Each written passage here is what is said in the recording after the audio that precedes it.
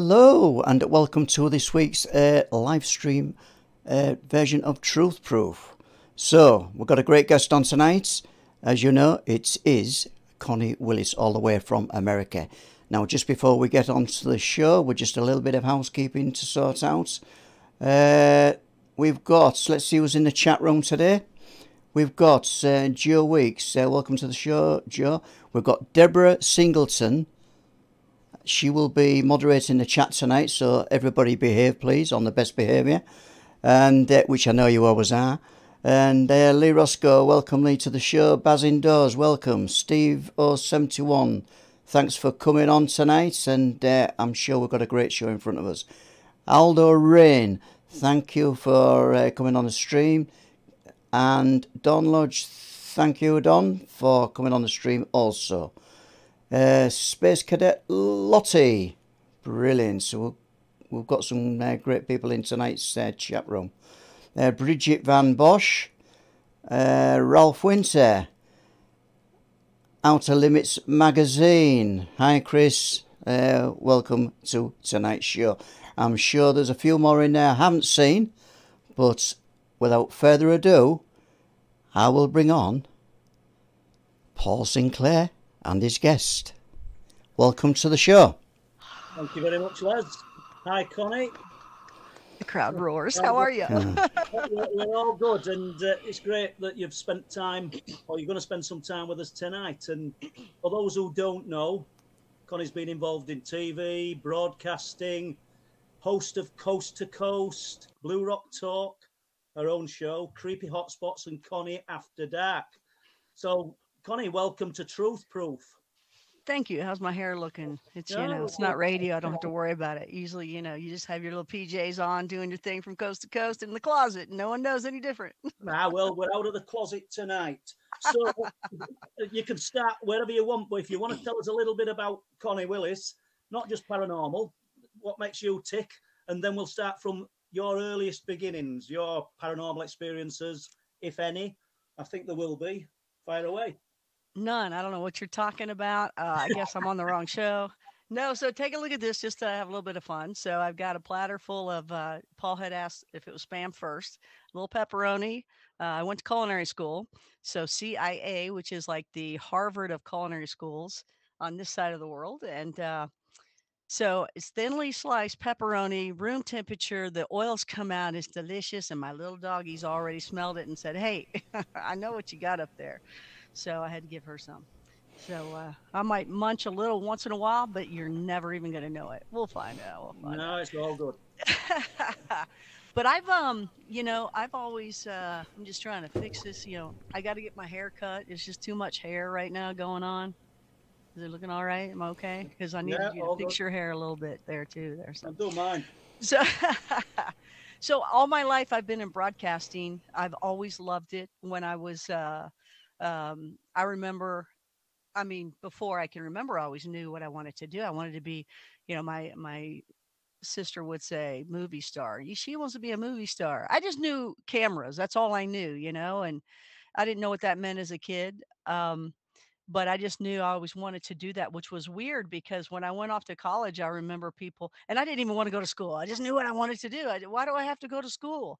Yeah. Um, but I remember um, people in school, you know, those people in college that continue to go another year, another year because they can't figure it out. I'm like, what is wrong with you? Why do you want to be in school? Don't you want to be out doing something that you love? Uh, but actually, a psychic at one point had said, you did this in another life. That's why you've always known what you wanted to do. And I didn't even solicit that question. He just turned to me and said, boom. Uh, and it was a guy by the name of Dr. Hoover out of uh, Cassadaga Camp which is outside of Orlando.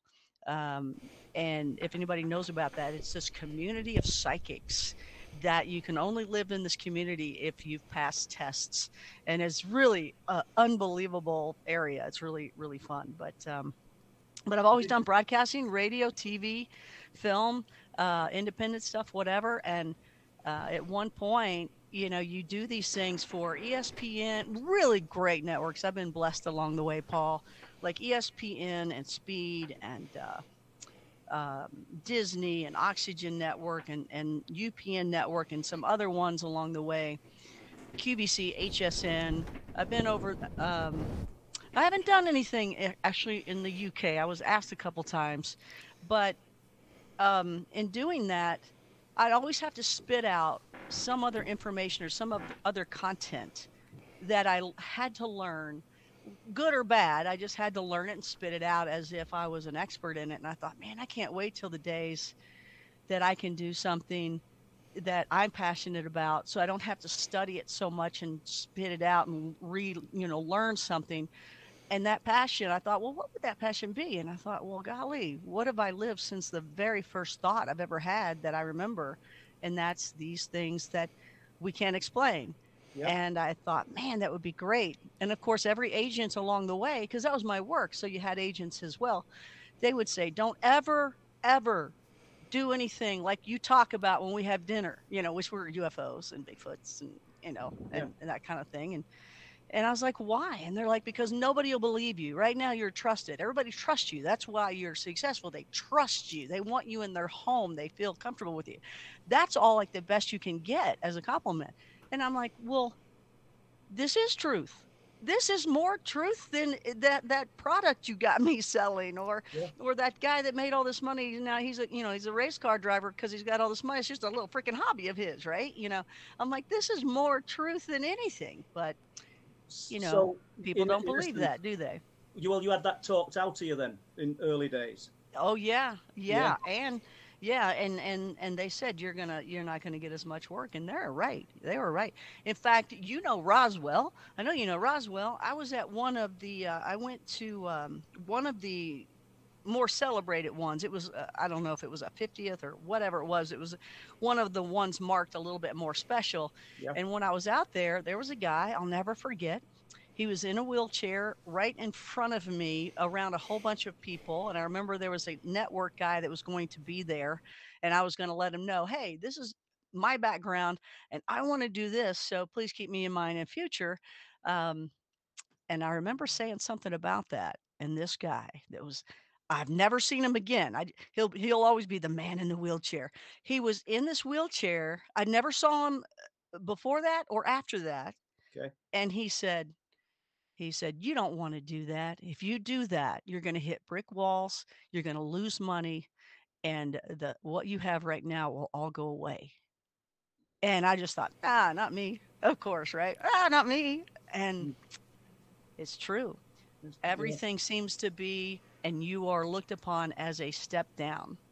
Yeah. And and to me, and probably to you guys and to everybody that's here, no, it's a step up we're yeah. pioneers on a world. You know, you don't have to be a pioneer. Hey, we've just uh, found this new land. No, we've just found new civilization. We're not even just found them. We're just looking into them. They've yeah. been here uh, most likely before us. I don't know that, but maybe. in, my, in my mind, to my mind, that's where I would come from. They've been here long before us. Yeah. And what about your early beginnings then, Connie? Your early experiences? Uh, is there any that you'd like to tell us about? Well, um, I'm. I think you and I are very similar in almost you know a ton of ways. A lot of people just study ghosts. A lot of people just study UFOs. A lot of people just study abductions or aliens. And by the way, as you know, UFO people don't always go to abductions or even aliens.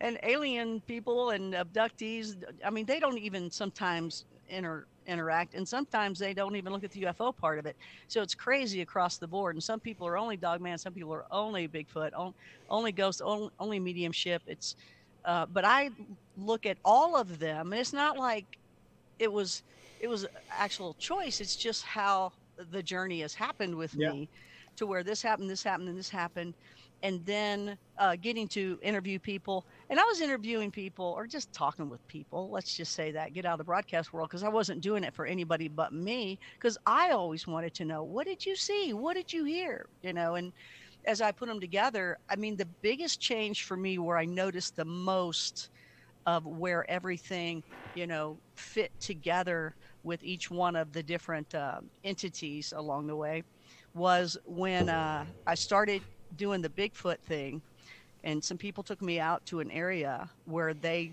had encounters all the time, and I was, I mean, they talked to me for hours, Paul, before I ever went.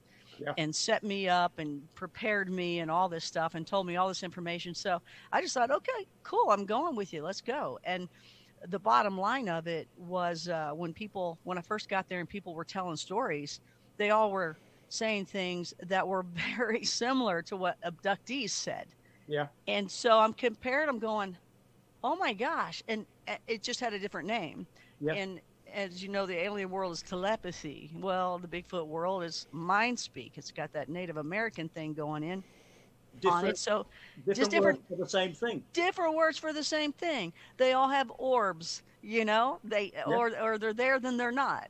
You know, they can communicate with you. Well, that's Aunt Betsy's talking to me. Well, that Bigfoot's talking to me. The aliens are talking to me. They're all talking to you, you know. And you go to certain other areas of the world that I've gotten to interview from coast, and you know, it's always a fairy. It's always a fairy. You know, it's like oh, that's kind of new still to us, or to me at least.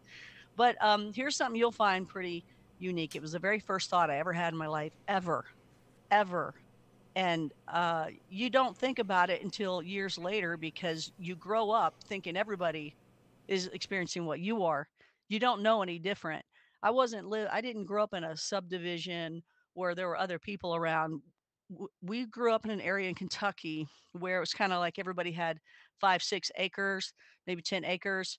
So you know, you're the kid, and you know maybe there's not any other kids until you go to school again you know so so i'm out there playing with ants and you know feeding them a little sugar watching them pick it up and take it somewhere you know i'm doing these types of things as a kid and walking around in the woods and um the very first thought i ever ever ever ever had was and this is going to be really incredible um because i've never heard anybody say this before but i remember just having this visual going down. I was like in the sky going down. I'm only giving the interpretation that I can now. Um, going down from the sky, and there was two. There was something over here on the side of me, and something on the other side of me. White, um, um, feathery like, but not featherly. Uh, wispy, I guess.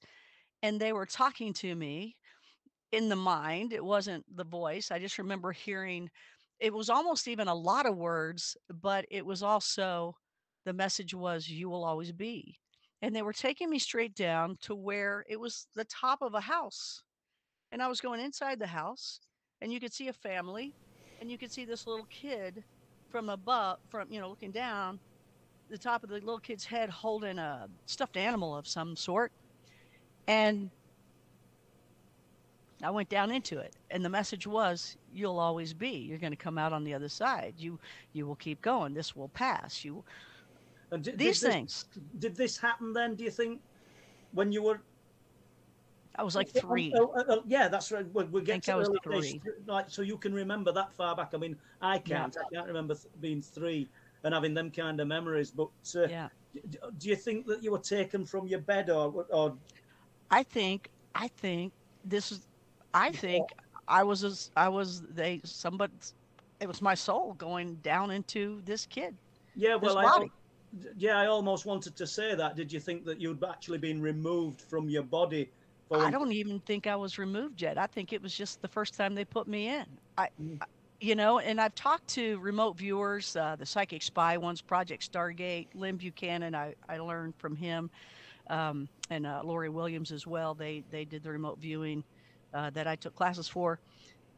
And Lynn, when he was with the uh, Project Stargate, do you know what I'm talking about? The Psychic don't Spy. know. I don't. Oh no, No. we're gonna have to get you hooked up. Well, these were psychic spies back in the uh, Cold War, where our army guys, I guess the Russians were already doing it, or we feared they were already doing it, and they were using their mind to find out where soldiers were Yeah. and what to do, and you know, doing all this psychic spy stuff. So, I guess we kicked up our program on it. I don't know. Some we can bring them on sometime for you, and Yep. they can tell you more. But you could give these uh, psychic spies a target. They they're totally blind to it, and they can tell you all sorts of things. So these guys came in handy, where they would find out where our where weapons were, where hostages were. They had all these different tools, but they were so good because they worked every day, every day, every day. You can imagine how much better you yeah. can get. And these guys were already talented. They would um, give them targets just to learn other things. And he said at one point they gave him the target of death, and they would try to do things like, okay, here's a person one minute before they died 30 seconds before they died. Okay, they died. 30 seconds after they died. You know, what are you seeing as a psychic spy through their eyes? Uh, 10 minutes after they died, two weeks after they died, two years, uh, 13 years. Well, he said that it was all sorts of different things. He said, you know how some people think it's hell or or we're in purgatory or we're in heaven or this or that. He says, we've seen them all. We've seen where people see all those different things. So he had said, so everybody's got a piece of stuff. He said, but what's interesting is sometimes you just see black. And he said, and sometimes we would see black, black, black for two years, three years afterwards, four years afterwards. And then we started seeing at 12 and 13 years old, they started seeing a world through their eyes again and they believe that that's where like a lot of tribes right would say you know now you're a man at 12 or 13 you know yeah. so they said that's where they kind of thought that might have came from so when so i kind of think maybe that's when my soul was added to this body and i remember um even looking out the window at one point or a door at probably still three and looking out realizing i was in something so it's, isn't that something it, it is, yeah. It's and I've not heard anybody describe it like that. It's really interesting. Yeah, that's and, weird. jump and jump into this project. Is this what it a military funded project? The psychic spy one, yeah, yeah. yeah. That was uh, they. Uh, it was a top secret uh, one for 20 years that no one ever knew about and was not very successful. But for 20 years, they put in millions of dollars. So uh, then you've just beat me to punchline. So for something yeah. that's of no use, yeah, nobody believes in, they'll yeah. pour millions of dollars into it, won't they? Yeah. You know, just like the subject of UFOs, it's of no consequence, it's of no defense significance, but we'll pour millions of dollars, black budget yeah. kind of programs, into trying to discover what exactly is happening. So, yeah. over the years, then, Connie, you'll you'll have spoken to lots and lots of sort of famous people, some not so famous, on coast to coast on your own radio. Paul's show. one of those famous people. You what? Sorry. Paul's one of those famous people. oh, thank you. But tell, us, tell us about some more interesting ones. Um, hmm. And are you all hearing me okay? Because I heard a pop at one point. You got me okay? Les is so cool, isn't he? He's just a man. You that's so cool. You got this dude helping you. That's so nice. that's so nice. Um, some of the more popular ones that I've talked to along the way. Um, Hmm. I don't know. Not, not, not necessarily popular, interesting. You know, because there'll have been people that you've spoken to who've not got a name, not got anything, and they'll have come on your show or they'll have yeah. made contact with you and they'll told you something like mind blowing. Do you know what I mean? That... Um, you know, it's uh, gosh, I've never been asked that before because I. It seems like um, the people that I'm able to bring in either on Coast or on my show I've talked with them in a way that, you know, I believe what they've got going on. Uh, they've told me some interesting things. And uh, so to me, it's all kind of mind blowing. And that's the yeah. people I want to have on. You know, I always want to, I like to have people on that have had encounters that go and research and have them. You got to be careful. There's a lot of embellishers out there. I don't want that. You don't have to embellish this stuff. You don't have to do it. you know, um, that's one of the reasons I've kind of stayed away from the television part of this. You know, I pitched some shows along the way because being my background of it, but they would usually the networks would usually want to do something to give you a climax at that commercial, and you're like, but it's not real. Why do we need to build a climax? It's not real. And nothing's changed, does it? I, no. I, I watched. I, I don't know the new season of one that were on started last night, and we got exactly the same thing Every ad break, we just got a, like a climax of something that we're going to happen. And when we come out after ad, it's like an anticlimax. It's just not happened. So, and and I watched it with Bob Brown, and we both felt pretty much the same about it. Hopefully, it might get a little bit better further into into series. Do you think then, over the years, in in time you've been involved in it, that we've we're, we're getting a better understanding of the phenomena. Through the television shows? No, no, our just own research. broad brushstroke, broad spectrum of Okay. Well, if you stay away from the shows, and that's one of, uh, you know, I was just talking to somebody yesterday about it. I'm like, you know, look, I don't want to do those types of shows. I don't want, I know it's a mass audience and we can actually educate that mass audience, but they're not educating them correctly. So you immediately know what somebody, when they're out researching on their own, if they actually get to do it after they've watched all these shows, you can tell it's based on these shows they've watched and they expect certain things to happen or they do certain things and you're like no no they did that just for tv they did that just for tv um but So- but i i think like people like you and i and and um like uh, some of the other people i absolutely oh my gosh you uh, i don't know if you know um, uh, mike patterson up in canada uh, he No. has a sasquatch uh, relationship with with neff is one of his friends i don't know if he's here now or not he's a blue rocker but um he he he's boots on the ground. He's real McCoy as well. He's not going to tell you something that's he's not going to embellish it. You're going to people are going to think it because he's got amazing stuff. But right, but when you get something amazing, people will come on. No, really, all this stuff really happened. I can't believe it. But you know, you have to find out who you can trust, who you cannot. But I think the more that people like us can get together and compare, first of all, like you and I have done that and you and I are like you'll say to me, you'll stop me and go, Connie, I know what you're saying is true because mm. you don't know what it is either. I'm like, no, I have no clue, but this happened and it's weird. it's, it's a fact. And you know, Yeah, these people that you're dealing with, most of them are boots on ground, aren't they? And that's their That's stories are amazing. yeah, Uh, the, the amazing ones on the TV shows, they've probably never actually spent a night out in Forest or, or, Some. or and you know, winters up on cliff tops. Uh, so you do get Yes. amazing stories. You know, the, the, the, Yeah. I don't mean we're the real deal. That bit wrong thing to say, but you do get amazing stories. You know, I mean, me and myself and Les. Uh, I don't know what day it is. Was uh, the Les will correct me. I think it was Tuesday, but we went to Silpho Moor uh, uh, in in North Yorkshire. It took us well over an hour, which is nothing in your terms. I know you travel hours and hours and hours, but for me to travel, as, as people have a laugh with me, I'm traveling out of the Shire like I'm a hobbit.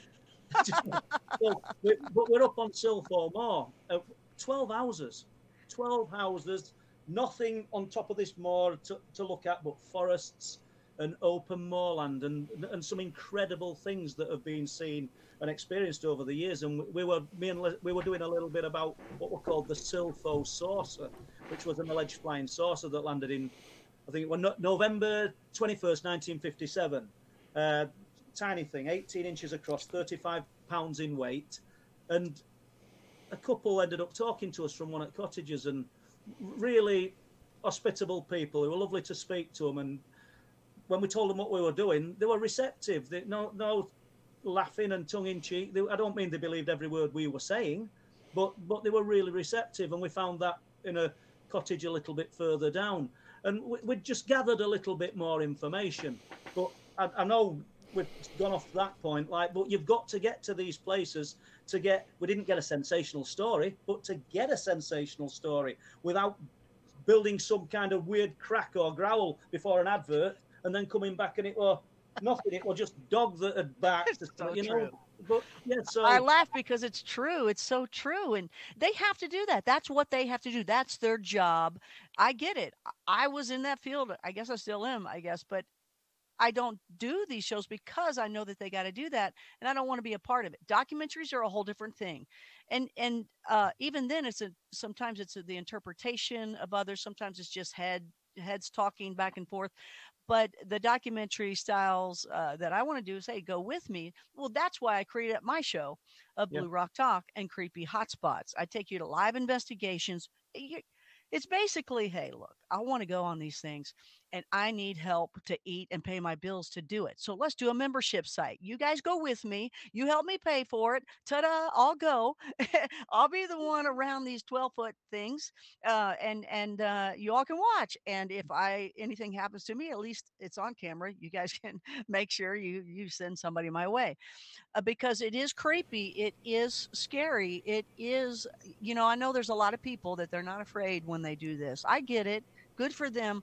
I'm not at that stage. You're going to know if I go, oh, you're going to, I am not going to lie to you if I'm scared. And I am. I hate, as, as, you know, this is where guys got it made in one area. I mean, you all got it made in several areas. I, I love men. There's, there's, nothing wrong with men, I, uh, nothing at all. But in the middle of the night, when you're out at one of these investigations, you're out somewhere. yeah, exactly. You guys can freaking get a can or stick it out the window and do your thing. We have to actually literally get out of the vehicle and go on the ground. I got to take my little doggy with me too. And I got to make sure she doesn't run off because it's pitch black where we are. If we're in a mountain somewhere, it's pitch black and you got to go. You got to go and it's awful because it's, I'll go out with a light and I'm like, because uh, uh, uh, I'm afraid. It's funny you, you say it, you know, because over years Mary's come to some dark, creepy places with me, and, and she doesn't, she don't bother now, but she's not bothered about going. But a, a, reason for not going is she said there's no way to go for the toilet. You know, honestly, and she, she just hates it because you've got to go somewhere really dark and it's it's not nice. It's not. It's a weird thing to be talking about, guys. On oh, just one true. thing. Everybody, any questions for Connie? I think Les has already said, but put them in capital letters. Deborah, uh, who was doing our moderating tonight, and Andy, just get them to Les, and he'll give us the little sign, and we shall fire some questions across at Connie. Uh, who do you so, think? Paul, just so you'll know, I mean, I think she's in here. I think I see her little head. I don't have Deborah, my readers I've seen Deborah. Yeah, Deborah Jane East. Uh, I call her now the Jane of all trades. Mm. uh, instead of the jack of all trades. And she um she's the one who introduced us a long time ago. Yep. There's nobody I don't think that I like better on internet than Deborah. She's Seriously. great. Absolutely. I know she, yeah, absolutely brilliant. Wonderful. She's just wonderful. I love her. So and, and and that's a thing we need to say to Les because we need Deborah on here. We need to yeah have a talk yeah. to Deborah Les. So we'll we'll I'm, we'll try and fix that up. I'm gonna uh, grab her, so I'm gonna grab her, so you can't get her less. Yeah. No, uh-uh. So, over, who do you think's broken any new ground over the last 20 years? UFO, cryptid, if anybody. Well, you know, it just depends on what stories you hear. It's you know, th- I find this interesting. People will go, "Hey, do you know so and so?" Nope. Do you know this person? Nope. Do you know this person? Nope and they'll be like, "Well, who are you? You're not this. You you don't know these people." And then I'll go, "Do you know this person? No.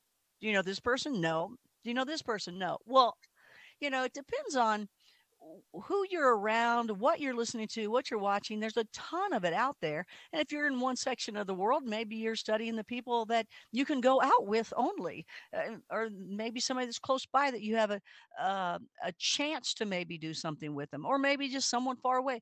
It depends on who you know you have to connect with who works for you what to me i'm actually just you know just doing it myself so uh, and then I'll I'll meet people along the way because maybe I'm going to do something on coast, you know, so it's like I got to get out there and check out other people or I meet them because they're out there with me or I'm with them or I learn it from somebody else and you know you always get word of mouth of somebody saying oh my gosh you have to you have to meet this guy or you got to see what this person's doing or somebody will say hey watch something on youtube. In fact i just saw something today uh, it was a youtube video that somebody got with a trail cam, which is usually very rare to ever get something like that, even though you can. And I thought, man, who is this guy?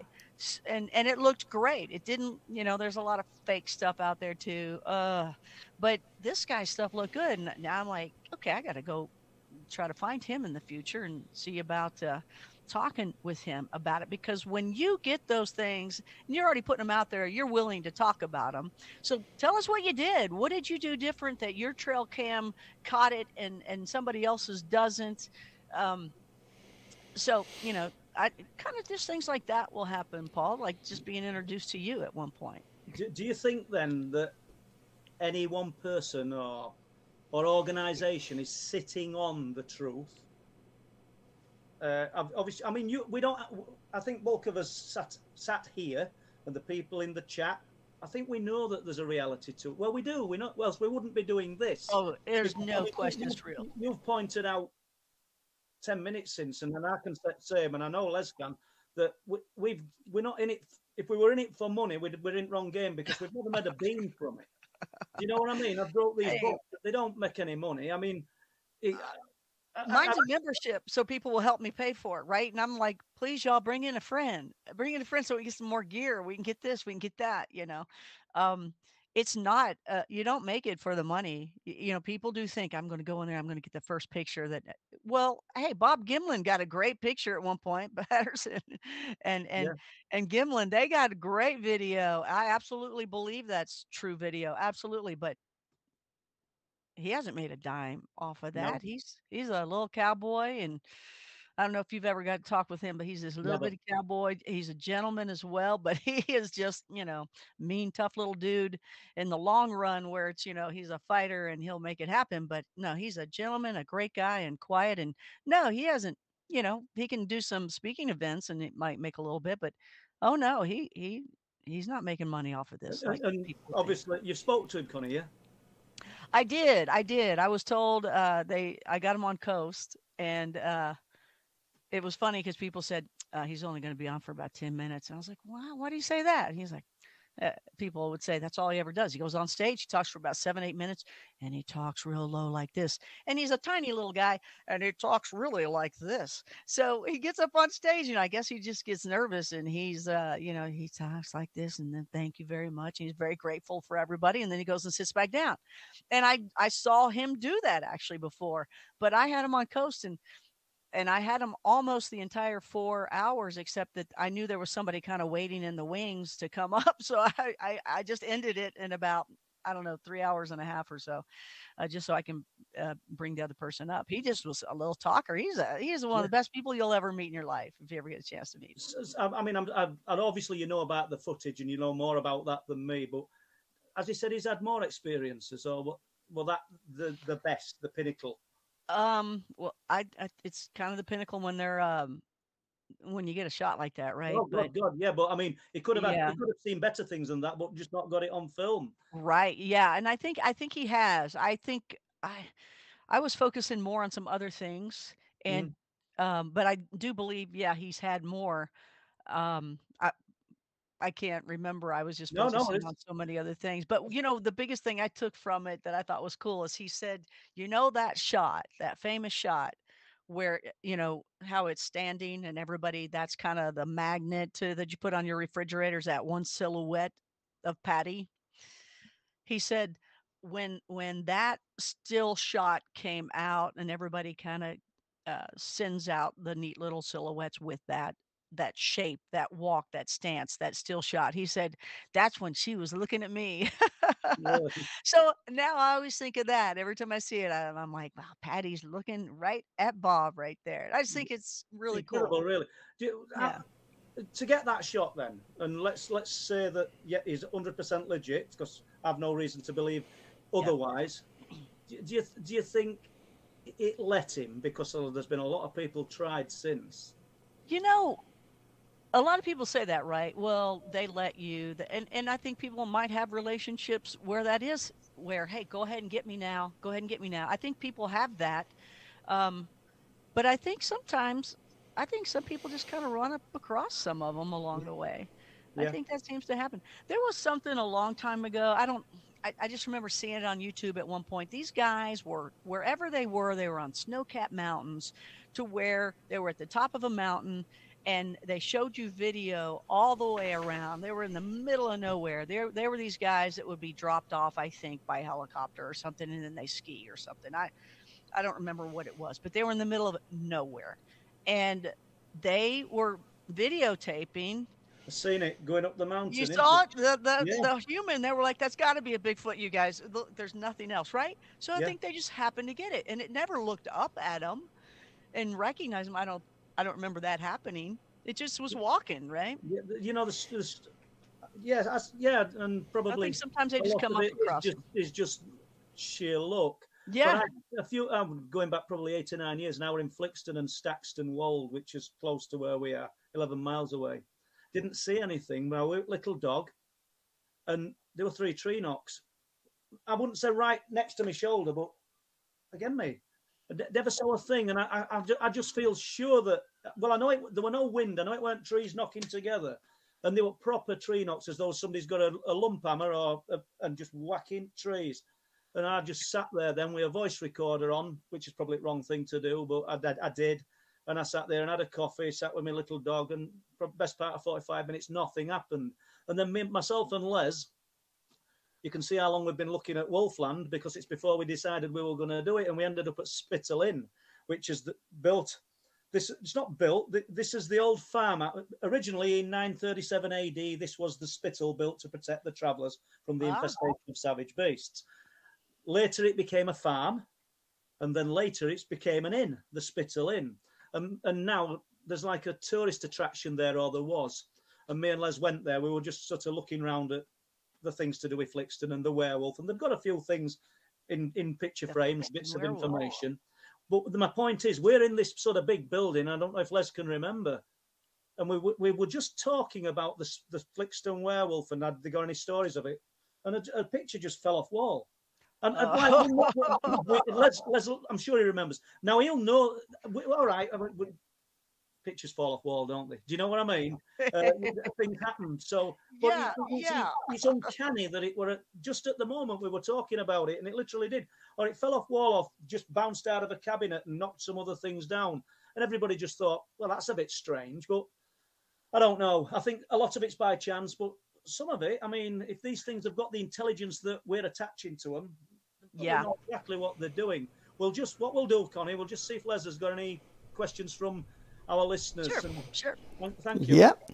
Yeah, and uh, it's uh, been a great show up to now, uh, Paul and Connie. Thanks. Um, yeah. Okay, we've got some good questions in, uh, you guys. And a question from Space Cadet Lottie. And uh, I think you might have touched on this earlier on, Connie. It's for you. Which interview has been the strangest you had on Coast to Coast? the strangest. um, yeah. I'm trying to think of his name. Uh, was it Peter Nichols? I think I got his name right. If anybody knows exactly who I'm talking about, please uh, say his name. I think it was Peter Nichols. It was uh, when I was very first on. So just going back to coast to coast, because I think most people know that. And I hope you guys will join me on Blue Rock Talk. I'll talk about that in a minute. But I think it was Peter Nichols was his name and he was uh, a big part of the uh, Montauk project. So if anybody oh, remembers, yeah. throw that name out. And he, it was I was very new to Coast to Coast. You still, you know, don't always know the ins and the outs. You know, and that is George Noory's show. Man, he's the guy, and he it's his show. It's his home. I'm in his home as a guest doing the show. You know, and it's awesome so I've got this guy on that a lot of people wanted to learn more about with the Montauk project. And it was actually on a Valentine's night. I, I remember that. I'm like, this is cool. It's all right. If I don't have a date on Valentine's night, I'm on coast. This is awesome, right? And I'm talking to talking to Nichols here. And he was a big part of the Montauk project. And he was talking about um, being able to influence somebody and the proper time to influence them. Now, I had read up on him because I only knew bits and pieces of him and they were just kind of scattered in my head. So I really did look into him before conversing with him and I like to do all that fresh on air, right? So it's not some lame thing where we've already talked about it. I, I don't like that. I like to have a conversation. So we're having a conversation, and I pretty much knew everything he was going to say.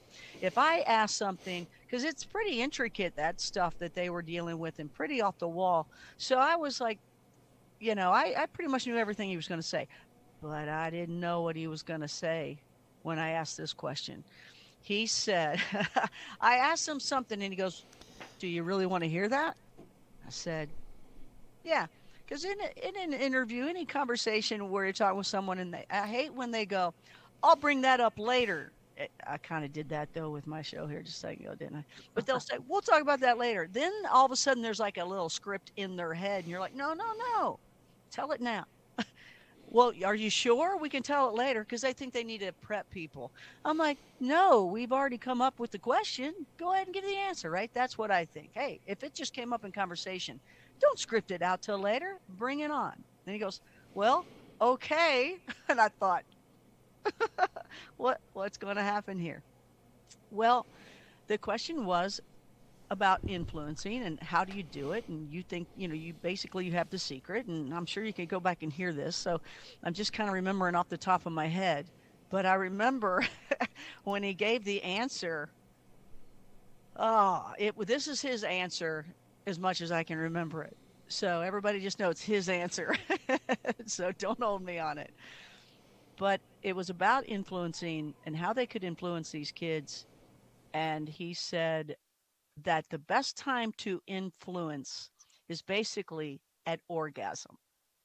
All right. Now I didn't expect this. Again, this he went right to it, right? But it was but he even the way he said it, so you gotta go with me, Paul. He goes, Well, me and this guy thought we would test it out. So we were in a hotel room, and I'm just summarizing because we were in a hotel room, and so we looked at each other because we knew how we needed to do this, and and we looked at each other and said, "Well, I'm not a homo and you're not a homo, but and they started doing their thing and to to to I guess learn it or see if it would happen or something. And I'm just going, oh no, because I'm new to coast.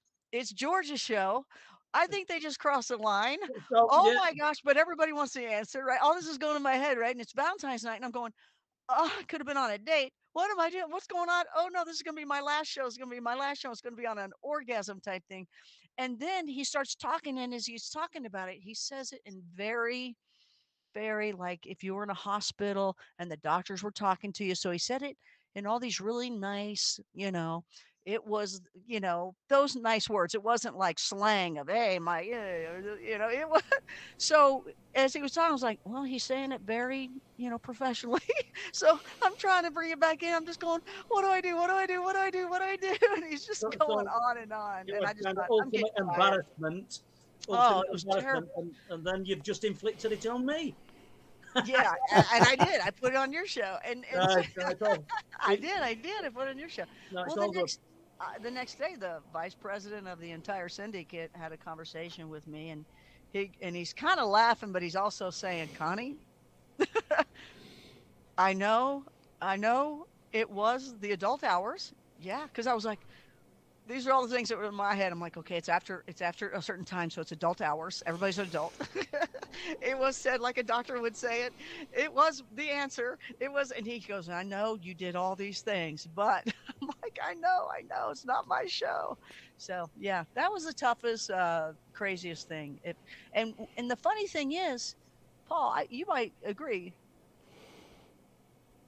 The, the the things that I'm more shocked at even or, or people things. you know, we see these crazy, you know, UFO, Bigfoot, whatever. We see these things and it, we're amazed and we're like, oh my gosh, and it's mind blowing and it stretches the mind. But then it's with people that you're like, what you're more yep. shocked about. well, just throw a curve for you. Didn't you didn't expect it, but uh, there you go. There you go. Any more questions? Yeah, that's uh, that's a great account, uh, Connie. yeah. um, uh, to say the least. Uh, quite, yeah, thank you. Uh, Steve 71 is asking Has Connie ever been on a hunt for Bigfoot in America? All the time. Yeah, all the time. So, so the show that I do, I'll just go ahead and tell that if that's okay. It's yep. um, so my own personal show, and and why I kind of, you know, decided I'm going online with my shows because I don't have a TV network telling me we need a climax here. We need to make the door creak over there. We need to make a howl happen over there. No. Hey, I'm going to, you know, when the internet started popping up the way it could, I'm going to go out there. I'm going to do live investigations, take you with me. And it's membership. So it's a whole community. So you pay to get into this. You go with me on live investigations, and you're a part of it too and you're a part of the community. It's a safe place for you to talk about things, and we experience things together. And sometimes it's a haunting, which is overnight, and sometimes it's up somewhere uh, across the, anywhere. I'd love to do it with you at one point, Paul, where three to five nights you're somewhere and you broadcast back to us, or hopefully I'm there with you, which is even better. Uh, but if not, you know, it works out to where, hey, I'm here and you're there and, and, and we're with you and you walk around and we see what you see and we we're able to to say, hey, you know, go to the left. We think we just saw something to the left. And it's just this whole community and we do it once a month and it's really fun. Um, and so anyway, we do that, and you can join, and I hope you guys will. You'll become a Blue Rocker, and I think I got a discount for you guys to check out too. That I think Les was going to put down below. I can't see anything, but thank you. So y'all make sure you take advantage of that coupon uh, if you'd like to join. I, I hope you will because it's fun, especially with you guys on the other side of the world well, like that. Yeah, I of vouch for it because I mean I've sat in on a couple of them. I've been lucky enough you've sort of let me and. Uh, you've been sat there like like me and Les have done, like other people have done. We've been sat in the middle of these forests, and I've seen you sat there. So it is the real deal. Connie's not just saying this; she's not sat with a brick yeah. wall back here, you know. So, have you, have you any more to add to that? yeah, yeah. So here's one of the uh, here's one of the experiences that was really amazing to me. So um, there was a, a couple. They're called Sasquatch Journey and they took me to some of their areas and they showed me unbelievable structures and and all sorts of things. And if you go if you join my site you can go to some of the archives and you'll see these things these beautiful structures amazing amazing things to look at. I mean just unreal. But at one point we were in an area and we saw a lot of structures and we felt um, we felt like something around you know you get that feeling. And they had seen uh, ahead of one you know, looking around the rocks. This was in the day. And by the way, if you want to see one in the day, go out in the day. These people that say, oh, they're nocturnal, they're not out. No, they're out in the day. Go out in the day. You want to see one in the day? Go out in the day. Uh, that's my that's my advice to you because if you you know you want to go at night you might see eyes you might hear them uh, but ah, it's still pretty creepy but if you go in the day you'll see them in the day if you're in the right spots and, and you're talking. So what I did was we had we were on one side we were like the mountains like this. So we were on this side of the mountain then we went down had lunch and went back up this this area. And we I, i'm telling you paul we were like it was steep. We might have been 9500 feet up. This is in the rockies and we were grabbing like limbs to pull ourselves up okay that incline so there were three of us, and um, Tony always had a camera, and he would you know, try to shoot you over. And I would have a camera with me, and at times I would just be, you know, I'm just going to put this away because I'm not enjoying it myself. I want to see things. You know, if I catch something great, but eh, it just seems like I just want to put the camera away. I'm done. And so there's three of us, and we're pulling ourselves up the incline, you know, and it's like, uh, uh, uh, we're dying. We're getting older and older, I guess. I don't know. But at one point, I stood in an area and I said, in my mind, I said this, in my mind, I said, hey, we know you're here. We see your structures. They have seen your heads popping out. And I'm in here in the day. You know, I made it just about me at this point. I turned it around and said, I go at night and maybe I'll see you or not, but it's pretty terrifying for me. I know you're there. Uh, and I said, it's not that, you know, I just explained myself. I said, I know it's terrifying because you're not supposed to exist. You're way bigger than us. You could tear us apart if you wanted. Uh, we don't know really anything about you, but I know you're highly advanced. So, can you let me see you in the day where it's less intimidating? Can I see a full body of you? These are the things I said mentally, and I made sure every syllable came out. And I said it, I didn't just blow it off. And then we kept walking and pulling ourselves up, and boom, right straight ahead of me, as if it knew exactly where I was going to be. It knew exactly where I was going to look. It somehow somehow made sure of that. I don't know how they do it, but they make sure they get how they need it to be seen or heard or whatever, I guess, when they're in that mode, I guess. And as I looked over, I saw a man, looked like a man, a big man to me, because we're in the middle of the Rockies. I'm not expecting I don't know, you know, you're looking, but you're still not expecting to see one you're mm-hmm. hoping to. And it mm-hmm. kind of came parallel as if it ran from one area and and stopped itself at a tree. You know when you run and you like kind of grab something, you stop yourself and you kind of do that number. And it did that. It like ran up and stopped at a tree and did that. And then it turned and it went up parallel where I was. It went up the mountain. It was as though, okay, here you go, here I am. And it did this little pivot and it looked up the mountain and it started scaling the mountainside, that incline that we were holding onto things, full body. And I'm looking and I'm going, and I said, Hey, y'all, there's some guy over there. Look, there's a guy. We're not the only ones out here. And they were like, What, what, where? Because we were a little spread out. And I was sometimes, you know, just trying to really get them to look. And for some reason, Tony never turned the camera, which is weird. We always thought he always turns the camera.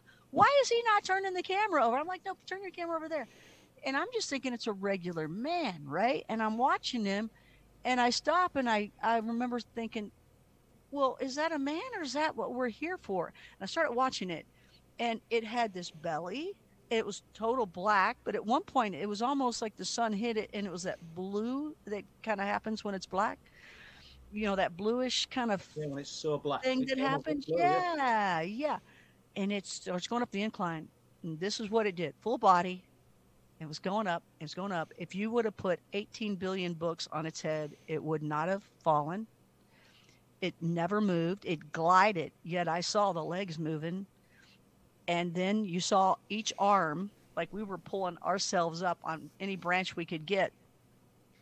It was putting its hands on trees, a lot higher up tree. We were grabbing little branches to try to pull us up. This thing was pulling itself up on a tree like this the next tree just with precision and the next tree full hands up higher so that's where you could get the height as well because we were pulling at the bottom this thing was pulling up high.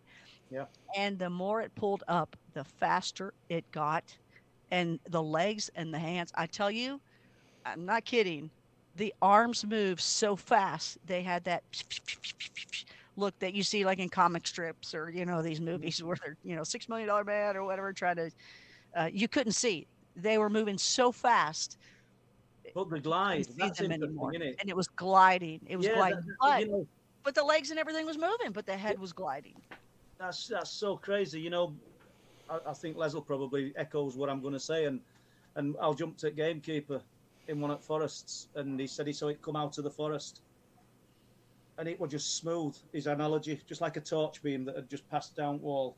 Yeah. Said, there were no sort of there's there's there's divots, there's ruts in ground. There were no up and down. It it was just it was just smooth. And we hear this. You'll have heard this anyway. I mean, I mean, I'm not I'm not educating anybody here because you'll have heard this this sort of smooth movement. And what what do you think that is? What what makes them do that? What makes them so different? I got to tell you, you know, the thing about that is if you like, uh, have you ever heard of the Flatwoods Monster? Yeah, I have heard of it. I don't know much about it. Okay, well, they would say, and it was more of like reptilians, I think, is what people had said. The Flatwoods Monster was more reptilian, or at least some of the pictures I've seen. And they always had were like they were on something. And maybe they were, but they were gliding. Maybe they were on something. Or maybe this, you know how some stories change. And so I might be wrong here, but the stories changed along the way and through the years, and they were saying these things glided. Uh, and some people, the pictures, they, they're on like some contraption that hovered and they would glide. Okay, that would make sense. But did did they actually see that, or was it gliding and they didn't see it, but they just thought that because we're used to seeing things glide? But I don't I don't know. Maybe those things as well, and maybe it was a Bigfoot and they thought it was a reptilian. Who knows? You know, again, they change. But when you hear a lot of people say they glide, well, guess what? I saw the full body. It was gliding, but the legs and the arms were moving, and it was going upscale and fast and faster and faster. I don't know how. Do you think I don't know. you? Do you think that was just for you? Did it? yes, I do. Yeah, yeah, yeah. Absolutely. Yeah. Mm-hmm. I couldn't believe it. I could not believe it. I couldn't believe it. And I knew he did it for me. I was like, he did that for me. Les, are we more questions? Yeah, I'll. Uh, I'll. Uh, thanks for that, Connie. Uh, I'll ask a question from Mick Pack. What? Hi, yeah, welcome to this to uh, tonight's stream, Mick. What does Connie think of the phenomenon happening in Bempton right now? What's happening? Our area. Well, In- you know, in- yeah. about. About all the werewolf stuff. The, the werewolf, the cryptid, the all of it. cryptid, the Lights. UFOs. Yeah, the UFOs. Do you see the similarities to areas where people have spoken to you on Coast, on Blue Rock Talk? Are they are they talking about the multi-phenomena areas as well? Well, that's where I think you and I are very similar because we talk about those things a lot. You and I, like a lot of people, again, they talk about ghosts only, they talk about this only, that only. Uh, when people start getting a little further and stretching themselves out, um, I, you know, some some people just do to like maybe a second character, you know, Uh, they don't always add some of the other ones, but more and more people are and I appreciate that because that's what I do. I'm not 101, and I'm not just one of them. It's let's go deep, deep de- down into it. Let's find out their similarities, why, what, how, uh, and to me, it's all about differentiation. Some people say no, it's all one thing. It can't be because yeah, the areas I've been in too, there's lights. And then there's many different strange lights, whether there's orbs or beams or uh, sparkles or you know there's a light and then it's gone it poofs a different way or it shines a different way it glows a different way right? And then you got the different creatures whether it's dogman or bigfoot or maybe even something else. You know alien or not and different footprints and what the freak is all this stuff and what is it we don't even see? What Yeah. is it we don't even know is there Well, So, I, i think those are my favorite areas by the way those are my it's- in a way, it's answered part of Mick's question. I mean, but what what I don't even I'm not even sure I know answer to. Well, I don't know answer, but I'm so I don't even know if I could attempt to answer Sure. it myself. But what do you think's special then about these areas? Other than, do you think it's something to do with geology? Do you think it's something to do with ritualistic practice by ancient peoples, Indian Indian uh, burial grounds, burial mounds here in the UK, places of where people have poured a lot of energy, which which has somehow evoked these things, or is it just a thin area where these things manifest? You know, I don't know. That would be the, you know, if we knew that, we would find other areas, right? And go right to them. You know, it's like when people talk about Skinwalker Ranch, they're like, that's, you know, there's a whole lot of other areas just like, I'm not trying to demean Skinwalker Ranch at Mm. all, but there's a lot of areas just like that. They just don't have a name yet, or people that have Yep. found them and are a part of it. They don't want to tell anybody because they want to communicate and figure it out themselves or, you know, have that relationship. Um, I don't know what it is. There just seems to be some pockets of areas. I don't know. I, you know, you know, if you give uh, an answer sometimes on any show, anywhere, or just in at the old bonfire, somebody can hold on to that being your So you- answer. you- yeah, you're stamped with it, aren't you? Yeah, and Yeah. you're like, you know, that's it today, this second, and it's a maybe. it's just a theory, right? you- You're spot on. You know, I- I'll talk about aircraft crashes. I'll talk about UFO events, 1963, July, whatever, 1963. I might get date wrong because it's, Yeah. he's coming out of my head. Paul's an idiot. He got the But- date but- wrong. yeah, but somebody will email me and say you- you're lying because you said July and it was June when I you said it last time. Do you know what I mean? Yeah, Um, I totally do. It's kind of holding on to all that information in your head, in it. It's, it's difficult at times, but uh, It is. there you go. Les, and you're trying to more- figure it out. You know, you're trying to figure it out. Like, like, let me give you one thought that might, you know, this is something that's been in my head that I think uh, sometimes, and I don't know, but I'm like, okay, I, I think we're the surface people. There's times I think we are totally the ones on the surface, and every all these other creatures live underground, and they pop up and check us out when we're there going hey there's people you know it's saturday night let's go see what these people are doing you know or let's make sure they don't find uh, where we go you know where our tunnel is down here maybe they're the adventurers like we are you know and they're like they're like us. They want to know about us. We want to know about them. But i do feel whatever it is i can't say that that's the case or not. We have a big amount of space that we walk upon underneath us you Yeah. know? Maybe there's some other worlds down there because we know there's a lot of bugs that live that way. And guess what? Little ants man they have those eyes that the alien a lot of the aliens have because they can see in the dark right? It's all about seeing in the dark. Um uh but i i can tell you this um I don't know. I mean, I, I just don't. I just know they're real. I've seen them, and it's The like, is, yeah, where are you coming from? we're all we're all looking to space and we're all looking Yeah. to for answers. And it's It's right clearly here. Well, yeah, it's clearly Clearly here. here, Yeah, Yeah. It's, it's clearly here. Right. and I right. think they know. But I think they know who we are. Don't Oh, you? yeah, I, think do, they totally know who we are and what Yeah. we're all about. Well, well, we're not about much good, really, for bulk of us, are we? You know, well, it's true, isn't it? You know, I mean, whatever we find, if- first thing we think about if we find a new resource is how much we can, we can exploit it, how much food we can Ah. get from it. Uh, do you know what I mean? We, we're not Yeah. really brilliant as a species, are we? And I, and I don't say I'm any better because, you know, I think we've all got us faults. But uh, there you go. Les, more questions? Yes, some great answers there, guys. A question from Bridget Van Bosch. Uh, Bridget. Hi, Bridget. Any tips for learning or improving remote viewing? Any tips to um, improve uh, remote viewing? Yes. Is she a remote viewer? I don't know, Connie. Because okay, so there's some people that will say they're remote viewers, uh, and I'm not saying she's saying that, um, but there's some people that are psychic and they'll say they're remote viewers because that's like this big hip word that people will go, I'm a remote viewer.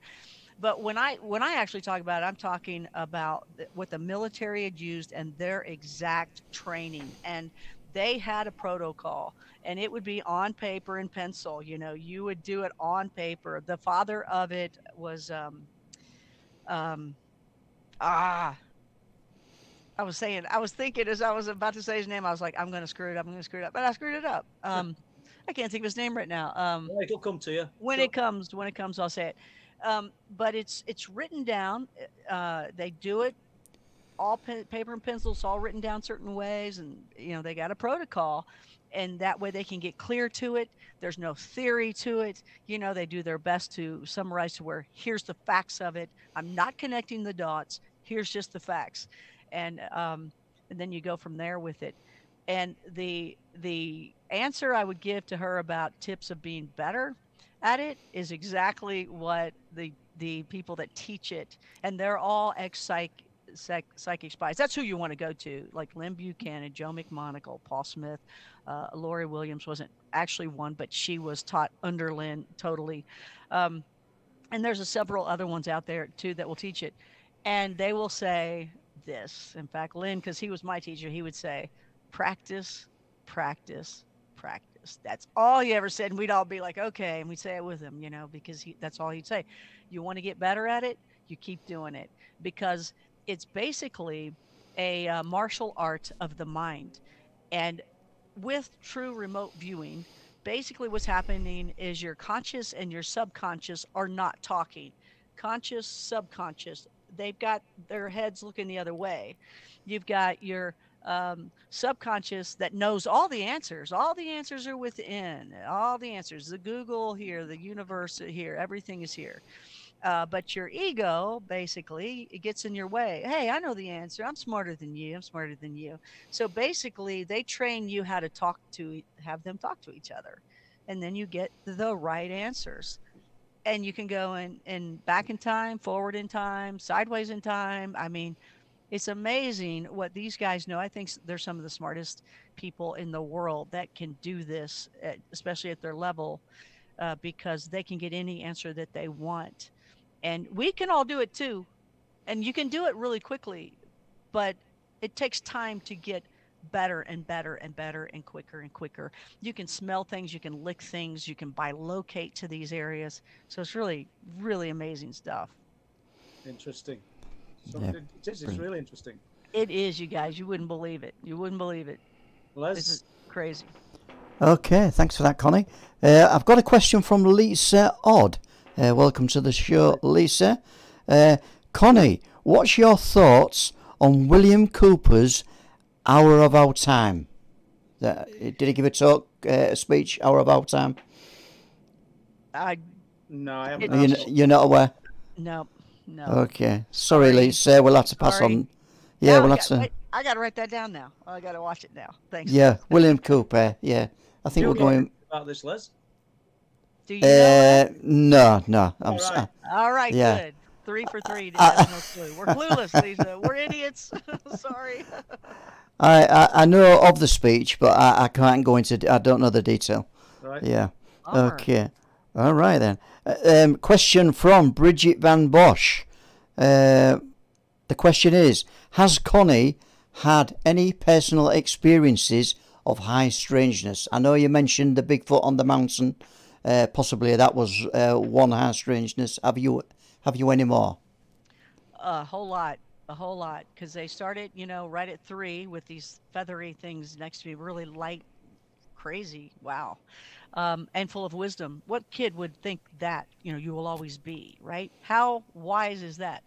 But uh, yeah, you know, grew up in a haunted house.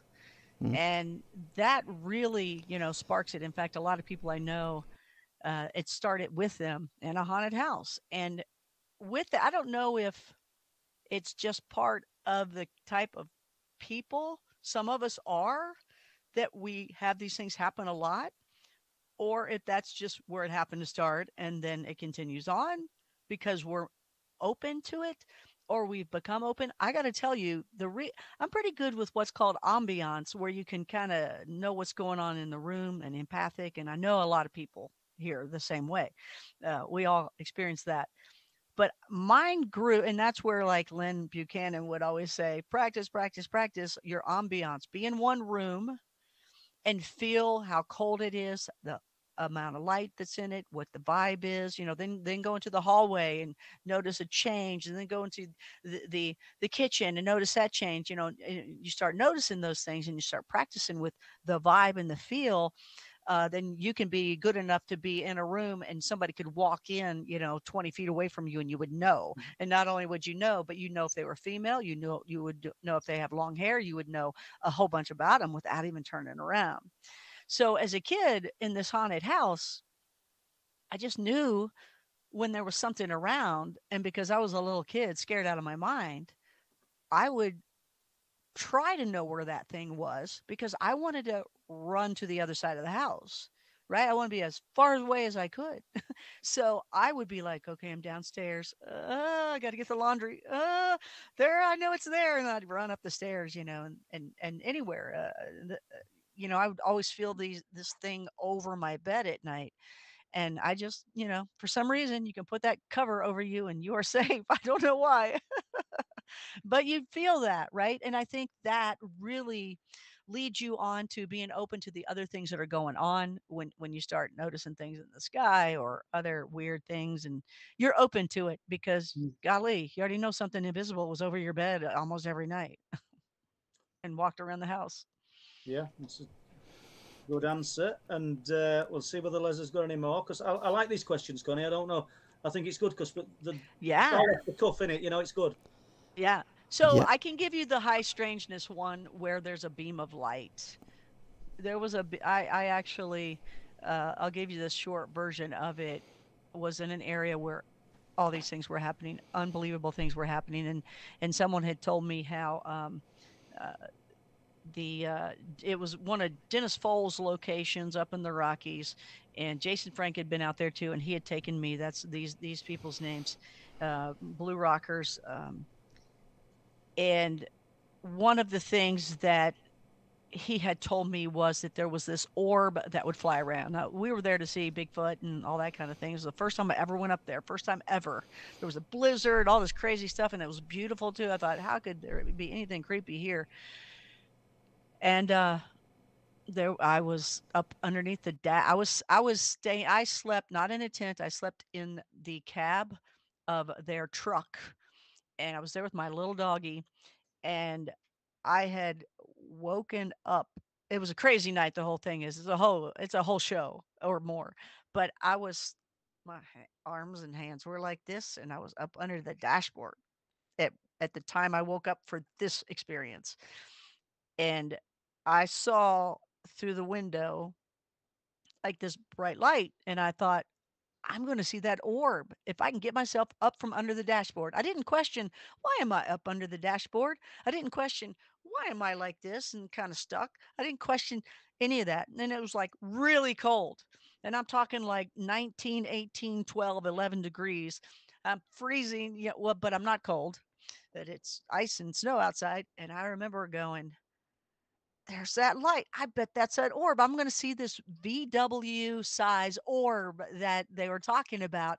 And as I scooted myself up, because I couldn't use my arms or legs, I could move my eyes and I could use my pelvic. I could do that. And I raised up and I looked through the window of the vehicle. And if you want to see something at night, don't be in a tent sleep in a vehicle, okay, and see if something's not facing you because that happened too that same night.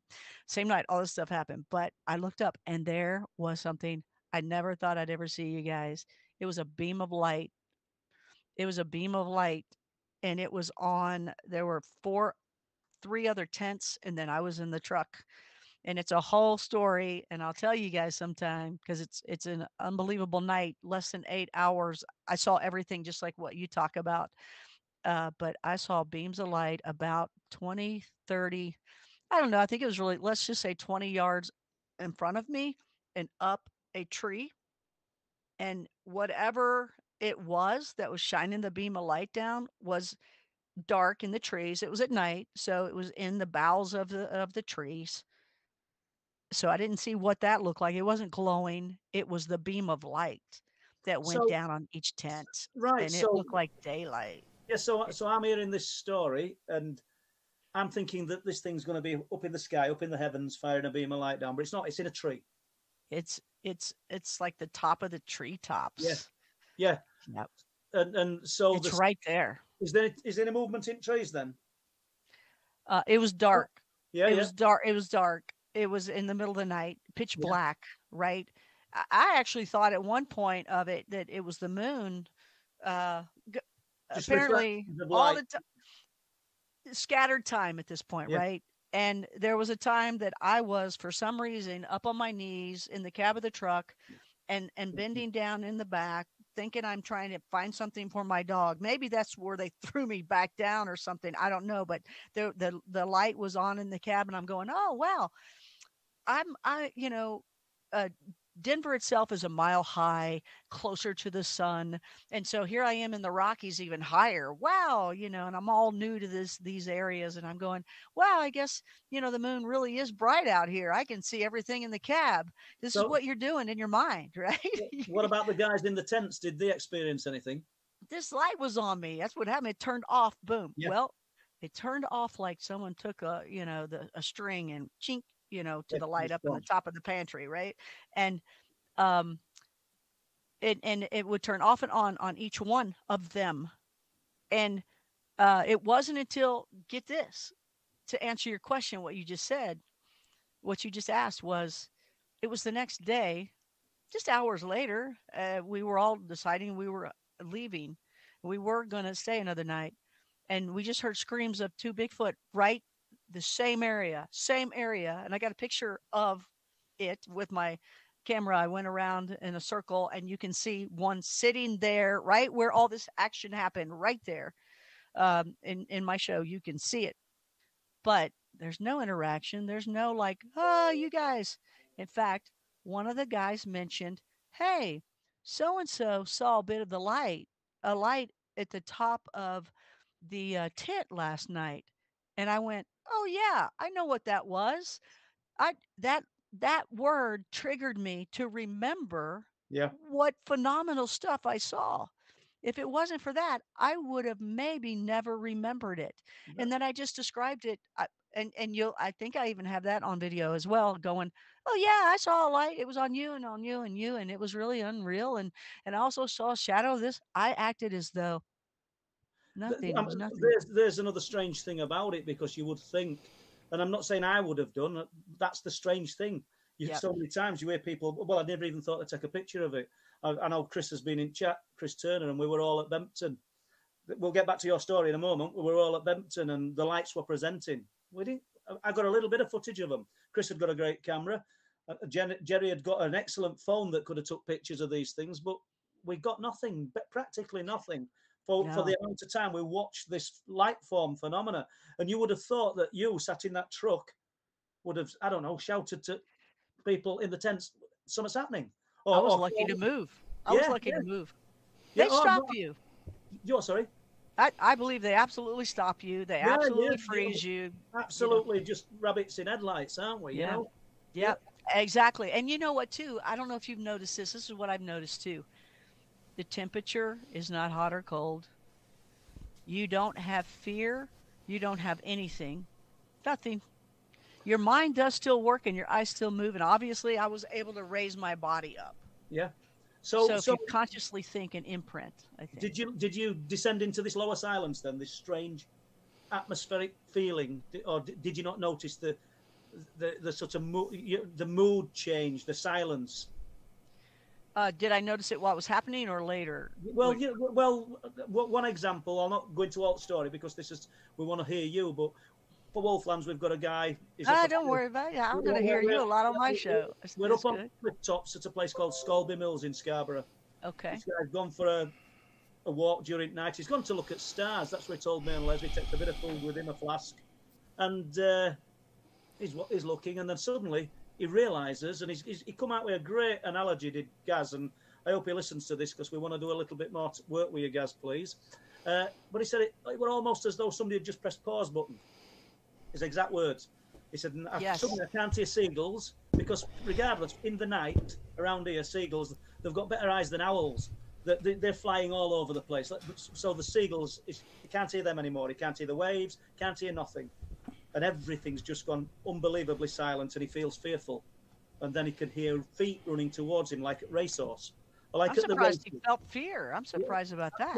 Terror, he said, and he's not. He don't look like kind of guy to to feel terror like the, like the way you were describing. He said, and if somebody had said to me a hippopotamus or a rhinoceros were going to run over me, is that's how heavy these feet were coming towards me. Oh, said, right. I went into the fetal position, and then just as I thought it was going to hit, everything went back to normal. That's what I'm on about. This this sort of descent into the lower silence. Did, it Yeah. did the atmosphere change?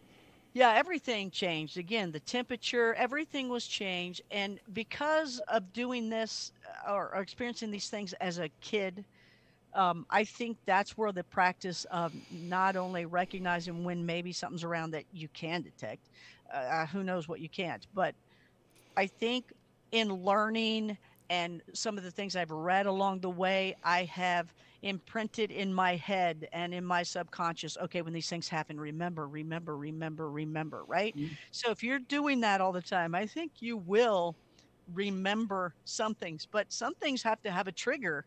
Yeah. And and when they said light, that's when I went, oh yeah, but I had no enthusiasm. It was kind of like, oh yeah, I saw this. Like, eh, you know, yeah, just the other day I ate some M and M's or something. You know, it was, it was so common fact. Now, if he didn't say that, I wonder would I have remembered. remembered it. But I Mhm. can tell you this: in remembering it, yeah, exactly. Would I have remembered that? But I do notice this and and even if i don't remember something i will try to recognize this whatever that feeling is that they do whatever they do to you that makes you forget not feel you're in this other atmosphere totally if you want to even call it that who knows what it is but it tends to stay with you for a couple weeks not as strong maybe but i know that the first couple of weeks i can sleep the next couple of weeks, my body and my soul is terrified. It needs the light on. And anything that, uh, if, from my I'm 32 experience, years old, you guys. Why are you laughing at that?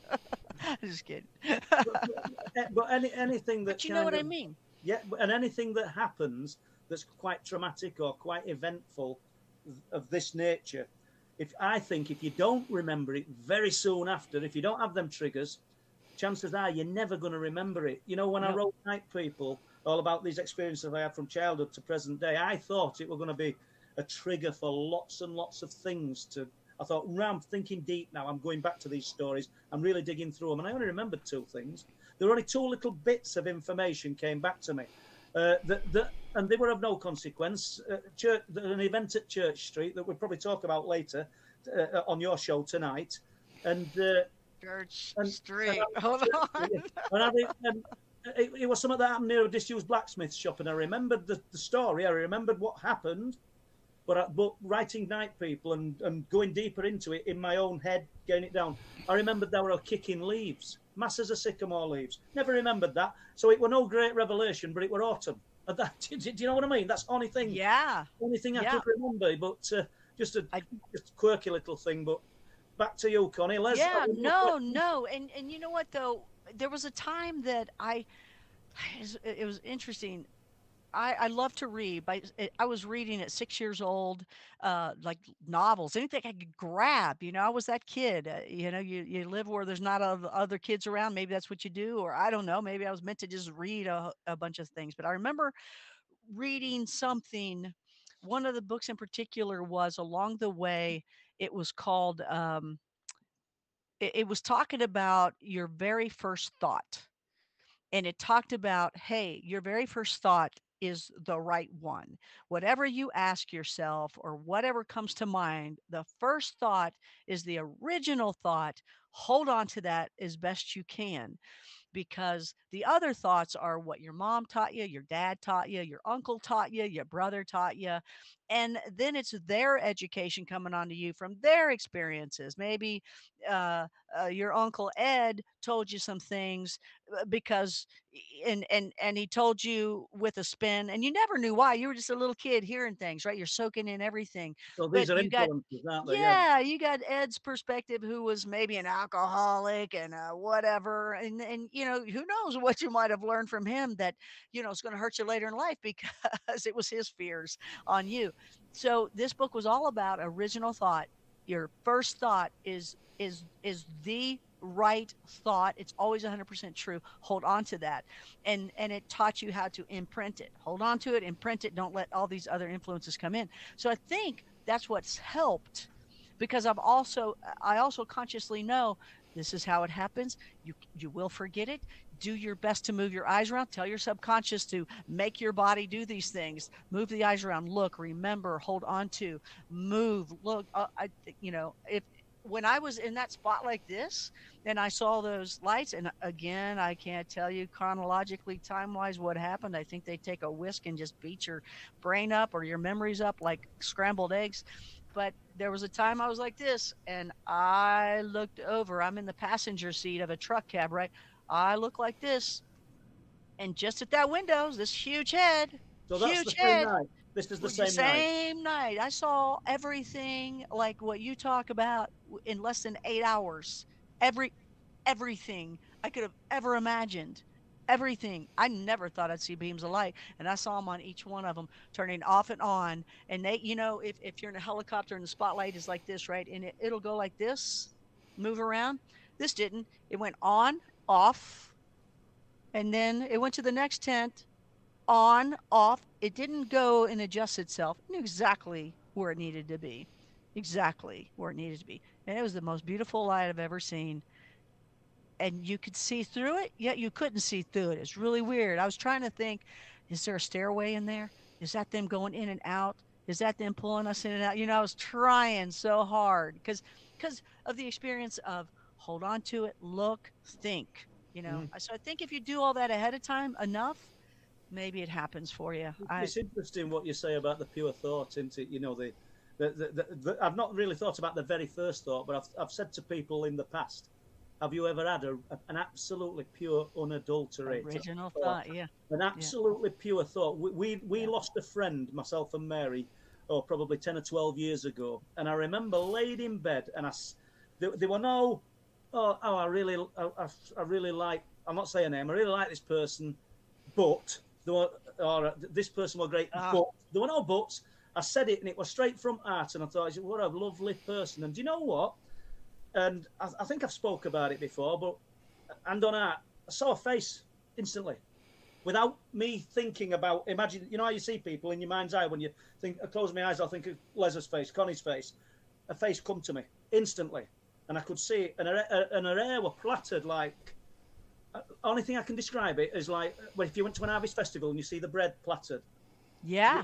uh, uh, it, it were a, Yeah. it crazy thing it were like looking at an angel and I just saw a face beaming back Ah. at me and and so it's just a strange thing and that's what I, I, I the thought just came from me within, without any buts or oh I can remember and I didn't like that happening and oh, I can remember this and she said this. It was just pure, just a beautiful person, and Wow. and and that, that image came to me.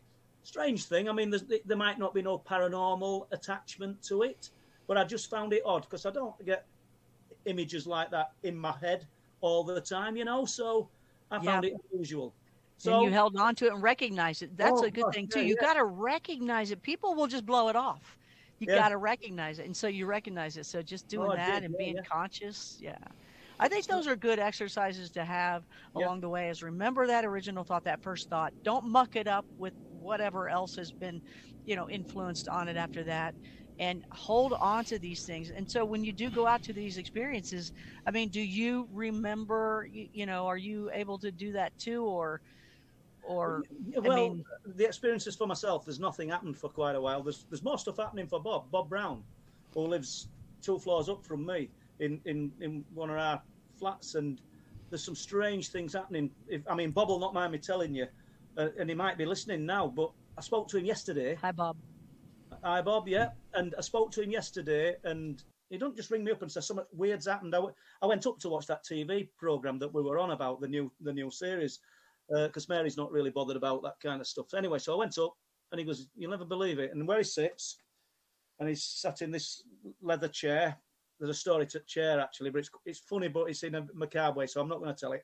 So anyway, sat in this chair, and there's a mirror on wall.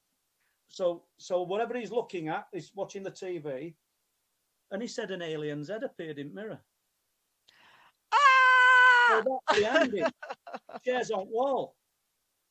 I, I mean, he, he'd and like he's lived there four years, and last I, I would have thought last I don't know six or eight months things have been happening more so for Bob in that in that spot up there, which is odd. But he, he said he said I couldn't believe it. He said it just popped up. He said no, Ah. looking at it. He said then it disappeared. He said, but I said well it's on wall. I said so it's got to have been behind you to be looking at you. Strange. It weren't in front of the mirror. It was in the mirror. Oh, oh, that's There's like the a Bob makings of a movie. You know? you. Oh, Yeah. I love it. He might, he might back that one up. We'll have to get Bob on one week, Kurt Les. I'd love that. I gotta. We'll I'm, a yeah. Bob does Beacon of Light radio.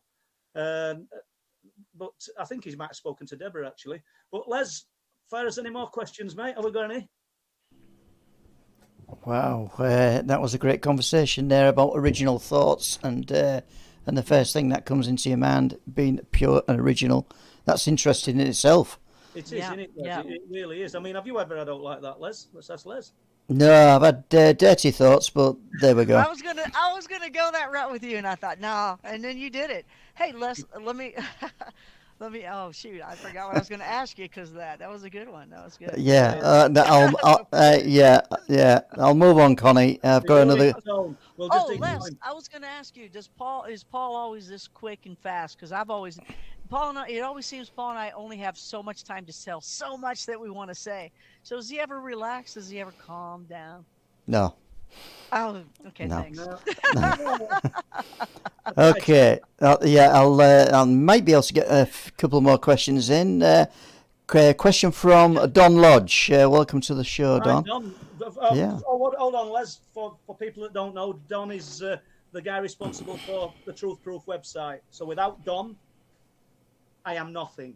You are Without- nothing, I am unless nothing. you without, are nothing. Les, I am nothing. So or yeah, Mary, you are Oh, Mary, yeah. nothing. yeah. Sorry, Les. I've, I've cut, cut Les across this. Okay, so this is um, this is really really diverse from what we've been talking about, but the question is simple: What is really going on at Skinwalker Ranch? We hear conflicting reports. So, uh, do you know any updates to that, Connie? Do you know where we are with Skinwalker?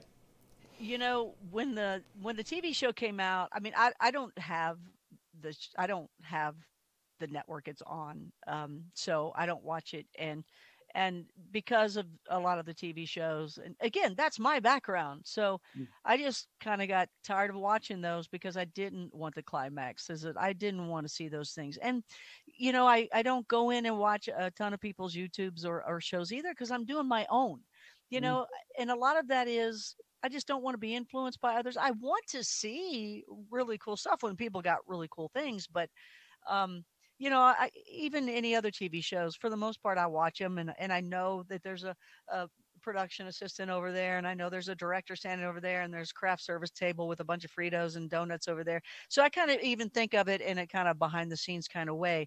But when it comes to Skinwalker Ranch, um, you know, uh, on coast to coast, George Knapp is kind of like one of the top guys on that thing, bringing the book to you, and and and uh, um, uh, Colm Kelleher as well. They put that, you know, did a lot of study in there, and and um, John Alexander, and uh, so these are people. I've never really talked to George Knapp much about that, uh, but you know, I know he's he's like one of the top guys with it. I've talked to Colm Keller about it, who was the number two guy to Bigelow, who Robert Bigelow was the billionaire that you know bought the land. Was this at the one scientist? point. Uh, uh, Colm Kelleher was yeah his number two guy, and yeah he was physicist and and, Yeah. and everything. Yeah, and I talked to Colm about it a long time ago, before I was even ever on Coast, and and I had asked him about it. So this is the one inside thing I have on it. Besides Alexander, John Alexander, he he had told me some things too, and he, he John had said Colonel, oh, I think he was Colonel John Alexander, right? He um he had said that they did a lot of different uh, experiments, and I was I was surprised at some of the things they did. I I am about the experience, the feel, experiencing the encounter of it. But they were getting more into okay, we're going to set this up and this up, and you know, E equals MC squared kind of thing. Well, good. We need minds like that because I'm, Yeah. I'm not that mind. You know, I'm more of the feeling and what was it like and what does it mean deeper and all that kind of thing. And and maybe you are the same, you guys. I, I think I am. And just to cut yeah, just one second, I think probably both both camps are needed, though. I, th- I think what they're Yeah. doing is needed. You know. Yeah. However, this is what uh, Colm had said about that because when I spoke to him about it, I said, "What, what do you, what do you think?" You know, and I think at this point they may have sold the property, um, but I remember him saying, "You know," uh, he said, "Activity comes and goes there." Mhm. And he said, and I believe that these things just come and go anywhere they want. They just move around. They don't stay in the same place, or they can, and they can come back. He's like, but I think they do move around. And at times you'll have more activity than times that you don't. And he said, Here's the deal and what I believe. He said, It's just another science that we don't know. He says, Science is something we can measure. He said, We don't know how to measure this. So one Mhm. day there's going to be another science. It's going to have another name, and they're going to learn how to measure that. But right now, we don't know how to measure what we're seeing. We don't know what it is. We don't know Yeah. how to measure it.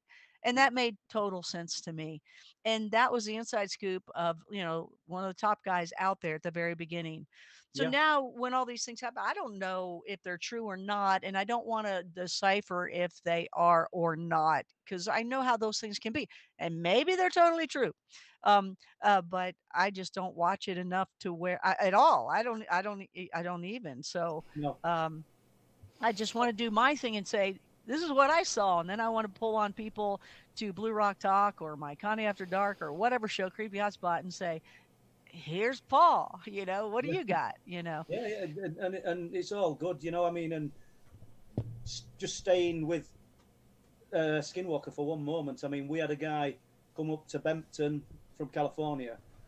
Oh, I can't. I'm not going to say two months since, maybe a bit longer. And I've I've spoke about it on on here before. There's, he didn't have any great experience at Skinwalker. He'd, No. he'd done some kind of pilgrimage. He'd done Skinwalker. He'd done this Hoia Baciu forest, and he'd done Bempton. But just to stay with Skinwalker, he did say that he, he got as close as he could to the place, and then he went on to a, a, a further into an, onto another ranch, and the police arrived. But when they realised what he were doing, they were real nice. We locals were fine, but the locals had said, "It's not just there; it's happening here as well." Yeah, You yeah, know, so that's what I. Yeah, The move, the moving about, you know, and uh, yeah, you know, I, I mean, people sort of stigmatise Bempton as though that's the only place. right, We can go up and down coast. But I mean, right. for, for Wolflands, we're talking. We're, we're at least doing 25 miles. We've got a story last week, Connie, that that me and Les will be visiting somewhere. If we said 30 miles from Forest and Forest 30 miles from us, but we, we, it's just going to be. It's not going to be the crowning story of Wolflands, but it's just one that'll help finish it off. and it's it's. I want to go. I want to go. I want to go. I want to go. I want to go. I want to go. Well, well, need a chick with you. yeah, well, fingers crossed, we shall be there. Uh, I don't know, back end of next week, all being well, if this guy's going to allow us. He, he'd been pinged with his COVID uh, app. Ah. So he couldn't he couldn't see us last week. That's the, hence the reason we ended up at Silpho Moor talking about the 1957 Silpho saucer to a camera. I'm talking to Fresh Air, uh, and which is well, I weren't. I'm talking to Les, but fr- basically Fresh Air, isn't it? Not you, Les. Sorry, it sounds a bit wrong, that doesn't it? But, um, so you know, he'll punch me when I see him. So basically, you know, fingers crossed we'll get to see this other witness and get his account this uh, well back end of next week. So let's jump in from that. Have we more questions? Well, what you were saying though was is is true, and I try to tell people too. I'm like, don't be stuck on Skinwalker. Sometimes people have to embellish and embellish to keep their stories going. Where it's like, no, there's other places just like that. They're everywhere. They're everywhere. They're absolutely everywhere. And you know, you find them or you don't, or maybe you stick around long enough to notice it. You know, a lot of times you just might maybe you hike by it or walk by it. And these spots, they don't have to be out in the middle of nowhere. They can be right off the highway and right in a park where you walk and hike daily, or right next to the shopping center you go to. Yeah, no, yeah, exactly. So, creepy hotspots, the places that you visited, these a lot of these remote areas, forests, and people have contact reached out to you and said, "Look, this is going off. You know, we've got this experience. We can bring you out here." Do they ask you to keep it secret, the location? I like to keep it secret because uh, some people, it's some things are totally secret and some are not. Um, like we go to Waverly Hills, uh, and we'll if we do a haunting, Waverly Hills overnight is great. It's a, uh, it's just this huge place in Louisville, Kentucky, where I happen to grow up, and I I know that people that head it so we can get some special private tours there it's this huge building if you're not sure of it and it's uh you know tuberculosis it happens This unbelievable huge haunted place and we do a whole lot of things there and of course they're okay saying you know what the hot spot is but then there's other places where people have built up these great relationships with sasquatch or a dog man or something or whatever they they are not sure maybe even what it is and uh, they don't want their spots known because they don't want people coming up and and doing some of the stupid things people will do whether if they try to hurt something or let's oh. just say they're not trying to hurt anything they want their own research but they're screwing up what you just did because if you set up like a gifting table and you set up rocks a certain way or whatever and you believe you're communicating back and forth with them with gifts or changing rocks around or whatever you're doing well you don't know that this other third party's coming in once in a while making some changes too so now it's like well mm-hmm. who made the change Or, Right. or, or actually alienating what they're trying to study? Yeah, yeah. Yeah. So and they'll do it you know? So yeah it's best to keep that quiet and keep because it's about a relationship especially with the bigfoot. It's about a relationship with them. I don't think the et care.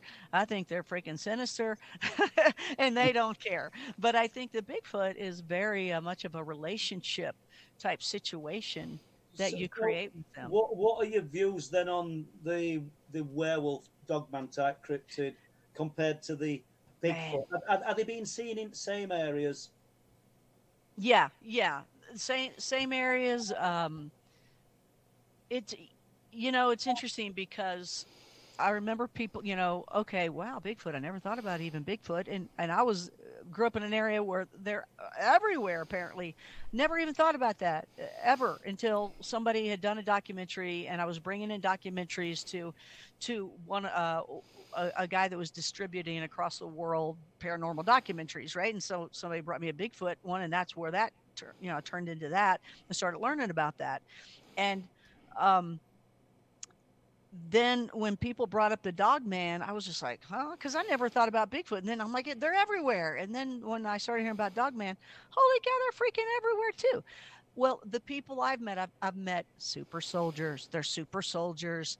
They were built. They are mean. They are vicious. If you see one, that's the last thing you'll see. They're going to chew you up and spit you out, and that's it, and it's over. And they're in the cities, and they're in the mountains, and they're they're everywhere, right? And then I've heard dogmen are no, they're the teachers. They're the ones that love you. They're they're even higher than the Bigfoot, and they teach you, and and and they're the Anubis from the uh, pyramids And then when I talked to you on Coast, I never had an idea. I never even thought of the werewolves. Oh, wow. Duh, that makes sense. And we have one of my blue rockers, Cryptid 559. He's on YouTube. He talks about seeing one. He's in, uh, in Southern California or in California, maybe a little above Southern there, a little bit. But he, he talks about um, that he saw a, a dog man and it showed himself and made this noise and i mean he saw he was like ah but he had said that it had shorts on and the shorts were ripped up just like where it was a human or something else with shorts on and then you know maybe turned into a wolf a dog man and tore up his clothes in a way I don't know whether it adds to per- somebody's credibility. Yeah, I don't know whether that kind of story adds or removes credibility. I listened to uh, one of one of these Dogman podcasts, and there's a guy telling an incredible account, and of, of him and some friends seeing this thing, and it's it's really interesting. I, I can't think it were on Dogman Encounters, but I can't think of the episode. Else I would, because people might want to listen to it because this guy talks about just being out of his neighbourhood near some fields. And I think he said there's a field full of nettles and thistles. And they've come across this thing and it stood over one of his friends, and his friends literally uh, everything's just gone away from him. He's absolutely terrified. He's just, you know, right. wet himself the lot. He said, "But this thing's over him oh, because no. we pulled. A, we shouldn't. Have, we'd had an illegal gun, and we pulled a gun. I'm telling somebody else's story that's been on a podcast, but I just want to get to the, the quirky bit. He told this incredible story. He said, and I pulled the gun, and it looked at me, and I knew it was saying, "Don't even think about it." It's, but then he said, it, suddenly we could see aurora red lights in the thistles and nettles. In in them, not above. He said thistles and nettles for this American is yeah, bushes, thistles, like big, long grass and nettles that sting. Okay. Nettles.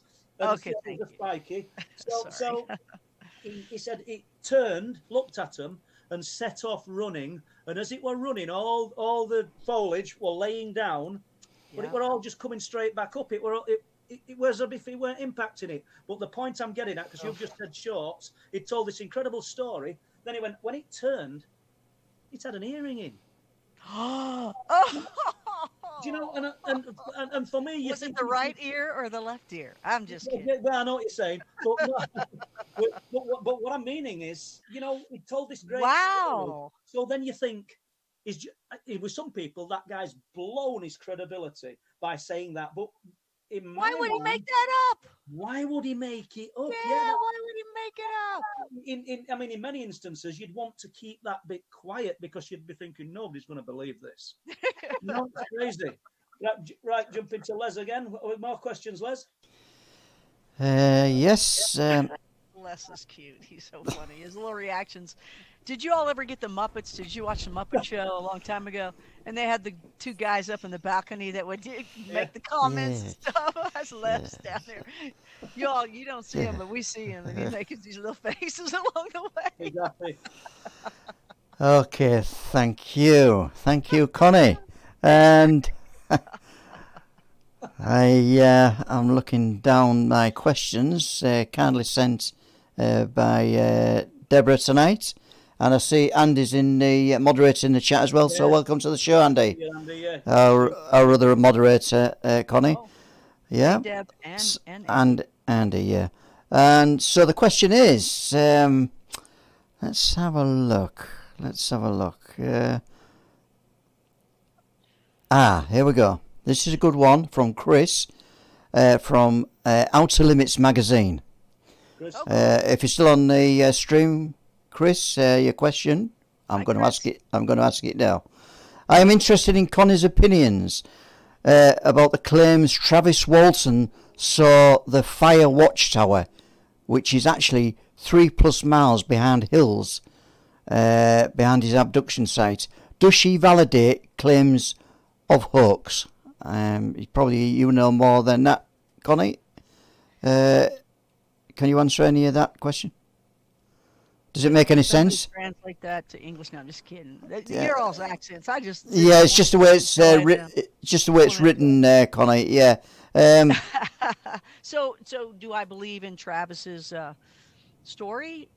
basically. Uh, yeah, um, yeah, yeah, I think that's that's what we're saying because there's some new witnesses come forward yeah. all these years on, and they're, right. they're claiming it to be the fire watchtower. The fire watchtower. Yeah. Right. Right. Does that, so is is is it clear? Does it uh, is it a hoax or is it real? I believe his story. I believe Travis. Um, I've known him for a, quite a long time, and um, again, I like people that have encounters. I want to listen to people that have encounters. Uh, you know, there's a lot of great people out there that write books and and they've never seen anything. They they they go and interview other people and they write their stories and hey, that's cool. We need people that will write and and and obviously that's helped the the awareness of all this stuff but my thing is i enjoy talking to people with encounters because i have them too and i want to to talk with you about them and see what we figure out from them and and we can always relate you can tell someone who has really had an encounter and paul and i will discuss this because it's like oh i believe you because that's how I felt when I saw that or felt that, right? I mean, because because we can't make sense of some of this stuff, but we can give you a little piece and a little piece and go, I don't know what that means, but this happened, and you know that that's when a person's telling the truth. Usually, if there's a whole little storyline to it, you're like, how did you connect those dots like that? Did you do that connection yourself? Because a lot of times it's not like we would think or do or be at all. And it's just kind of like, well, I don't know what it meant or what what really happened, but this is what I remember.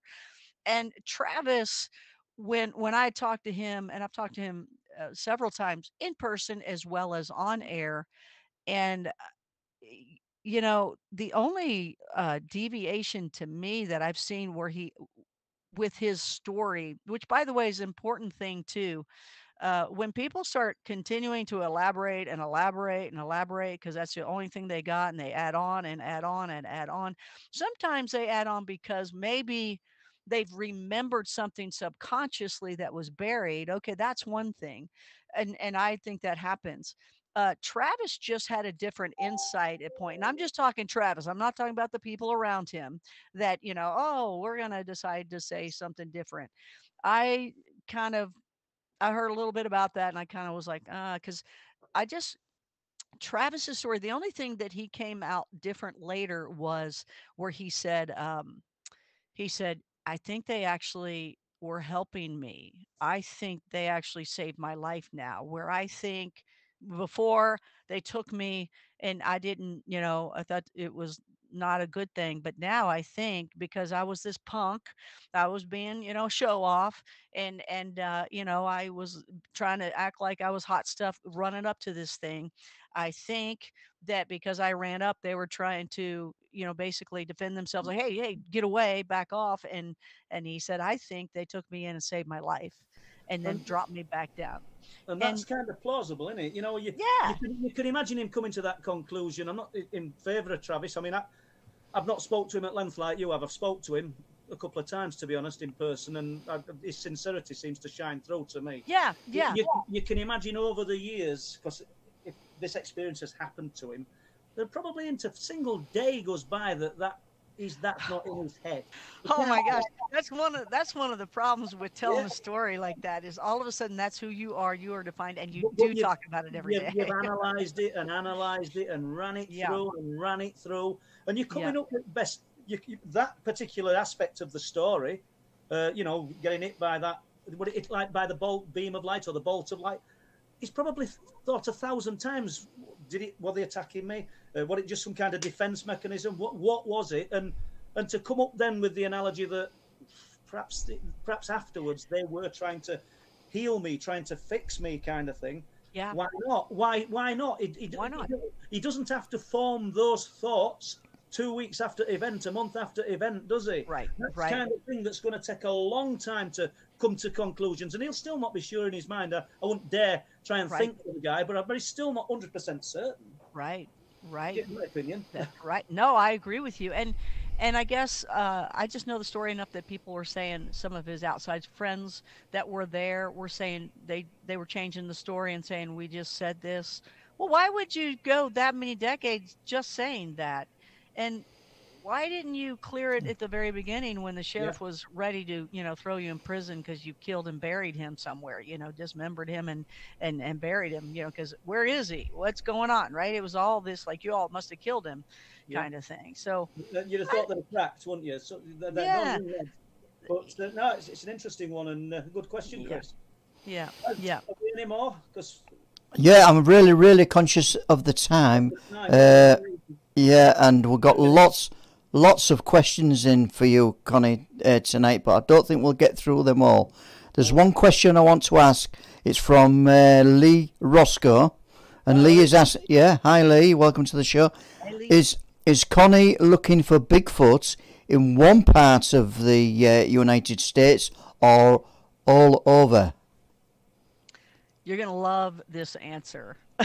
You're gonna love this because the very first time, like I said, I had been studying all sorts of things and the, and the, the last thing I had been studying was alien abductions and was getting deep in with personally knowing Dr. David M. Jacobs, the writer of some to, to me my favorite a researcher of all with the abductees and the regressions and he worked with bud hopkins and i got to meet bud before he had passed and david became a friend of mine and and learned so much from them i think they were the top people looking into it and, and of course uh, you know they had people above them but so when when I had when I was pulling in uh, documentaries for someone, and I, and I came up across the Bigfoot thing, and that's where I met the people, and they took me out where they were. It was actually in Alabama, and amazingly enough, you know, of course they're saying, yeah, I've been doing this 20 years. I've never seen one, but I still look and I know they're there. And I, you know, you hear all these stories and you may never see anything ever, but you can hear them and you, you know, blah, blah, blah. Well, I had adventures that very first night, but the first time I actually, we were driving around the area where they believe there were two tribes and one was nicer than the other. And they had all this activity uh, and I'm, you know, I'm just all right, man. I'm going with you. This is great. And so I remember we were trying to find a spot that we were gonna, everybody was gonna put the tents up, and I remember getting out of the guy's truck. I was on the passenger side. I remember getting out of his truck. Pat Rance was his name, and and and I stood outside and and Pat was always great. He taught me, you know, everything at the beginning. And I said, I said out loud and, and do do this like like you always want to think about your original thought and keep that in mind and print it and print it. If you ever get something in your mind and you and it wasn't you it was yeah, clearly not you you've not thought it. Yeah. you've not thought it. Repeat it out loud. Repeat it out loud so it'll help you. Just repeat it. Try to get that in your head and tell your subconscious to you know say it out loud. And that's something that happened. I stepped outside. The second one foot hit the grass don't ask me why, but that's when it happened.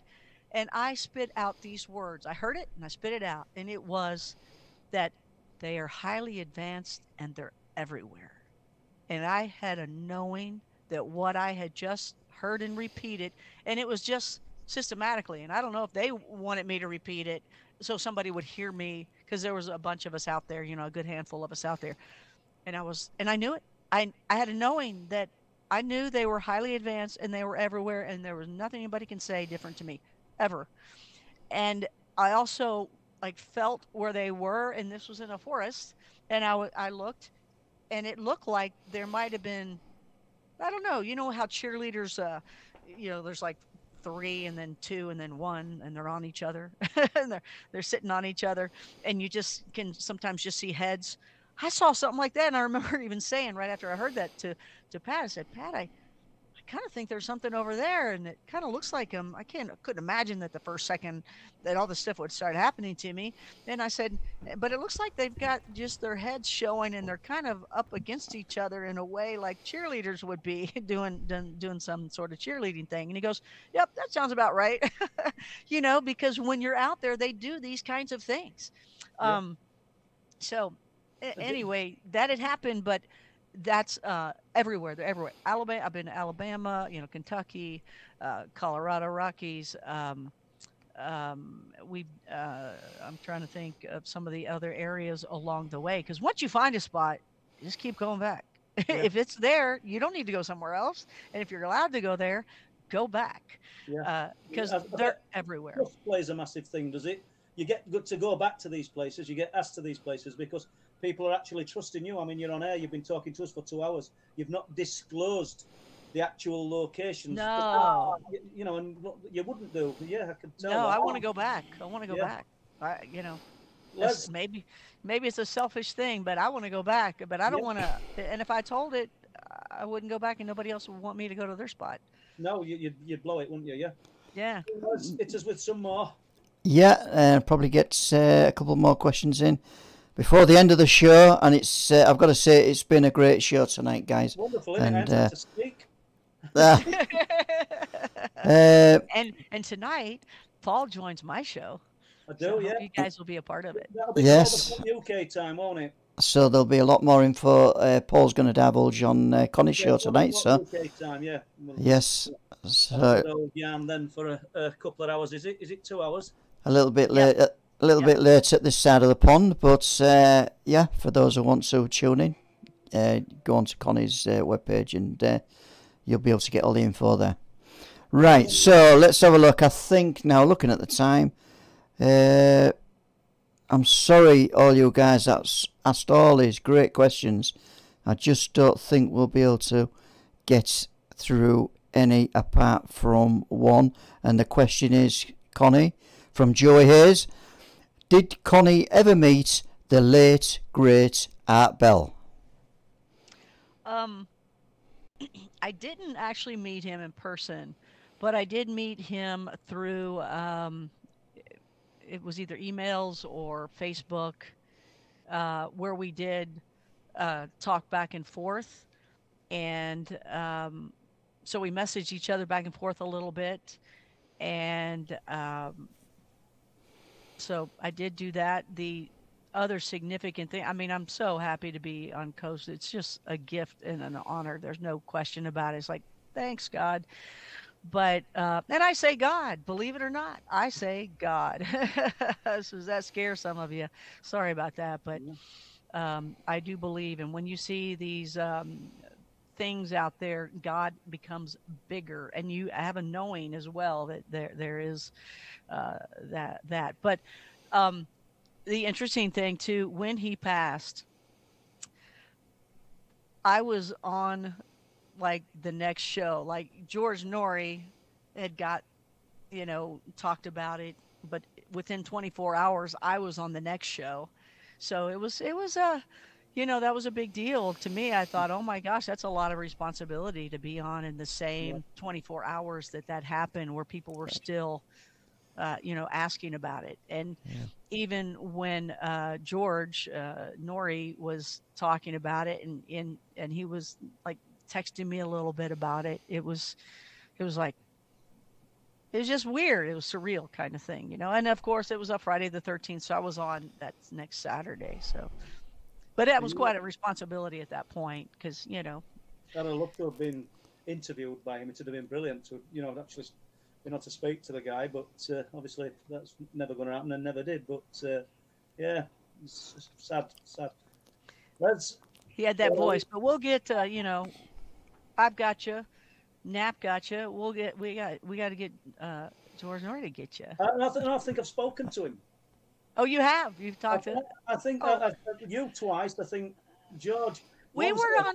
You were on Coast twice with me. I thought just once. No, twice. I think. Okay. Yeah. Okay, then, guys, that is a wrap. I'm afraid the two hours is up, and it's been a great show. Connie Willis, thank you very much for coming on the show tonight. Thank Thoroughly you. enjoyed it. Thank you. Uh, Thank uh, you. And along- really- Yes, and along Can with I- the. Yeah, go on, Can I say one thing real quick? Okay. Hey, I want to invite you guys all to, uh, you know, the UK. I love it. I'm a Willis, right? And and we are from. My dad is, you know, English, and and so I've all I've never been there yet. I want to. Uh, I always kind of feel like you guys are actually family to me because of that. So, and I know you guys love all this stuff too. So I hope you'll join my community. It is a membership one, which means it is a paid because that goes toward the research, toward what I'm doing, toward the gear, toward whatever it is and the platforms to make it happen. So I hope you will join. It's a safe community. It's called Blue Rock Talk. Also, even do something called Connie After Dark, where we do a drink and talk. So uh, either one of them, if you guys can join, that would be great. Just go to conniewillis.com and and at 7 p.m. Eastern, I think it's midnight your time. We're going to be talking with Paul on uh, Blue Rock Talk has three shows. The Creepy Hotspot, which takes you out, but then it uh, investigating. But it's also Bigfoot Friday. You know what that is, and Far Out Thursday. And so we're going to be having Paul on Far Out Thursday tonight. Yep, looking forward Okay. to it. Right then. And there's a discount below, right? You Yeah, it there is below? a Okay. discount. Yeah, we'll we'll get it on there, Connie. If it's not on there now, thanks. it will be on. Okay. Yeah, Right. Thank you very much. And Thanks, you uh, guys. It's awesome. Johnny, appreciated. See you later. Y'all so okay. fun. Okay. Thank we'll you. Talk to you soon. Okay. Okay. Bye. Bye. Bye. Well, guys, that was a fantastic show tonight. A big thank you to Connie Willis and uh, all the accounts of uh, the research she's been doing with Bigfoot and her experiences uh, when she, uh, uh, some of the earlier experiences uh, she ex- with lights, etc. Uh, it's been absolutely fantastic. We'd like to hear more from Connie, obviously, in the future, and maybe we'll ask her if she's going, she would be willing to come back on at some time in the future. So, uh, I've got to thank all you guys now who came onto the stream. Thank you very much. And we've got to thank the people who donated through the super chat. That's always great for us, helps us improve what we are doing. Also, thank you to Debbie and Andy for moderating tonight. Uh, you gave some great questions, and it looks like it just leaves me to say thanks for coming and we'll see you next time. Bye.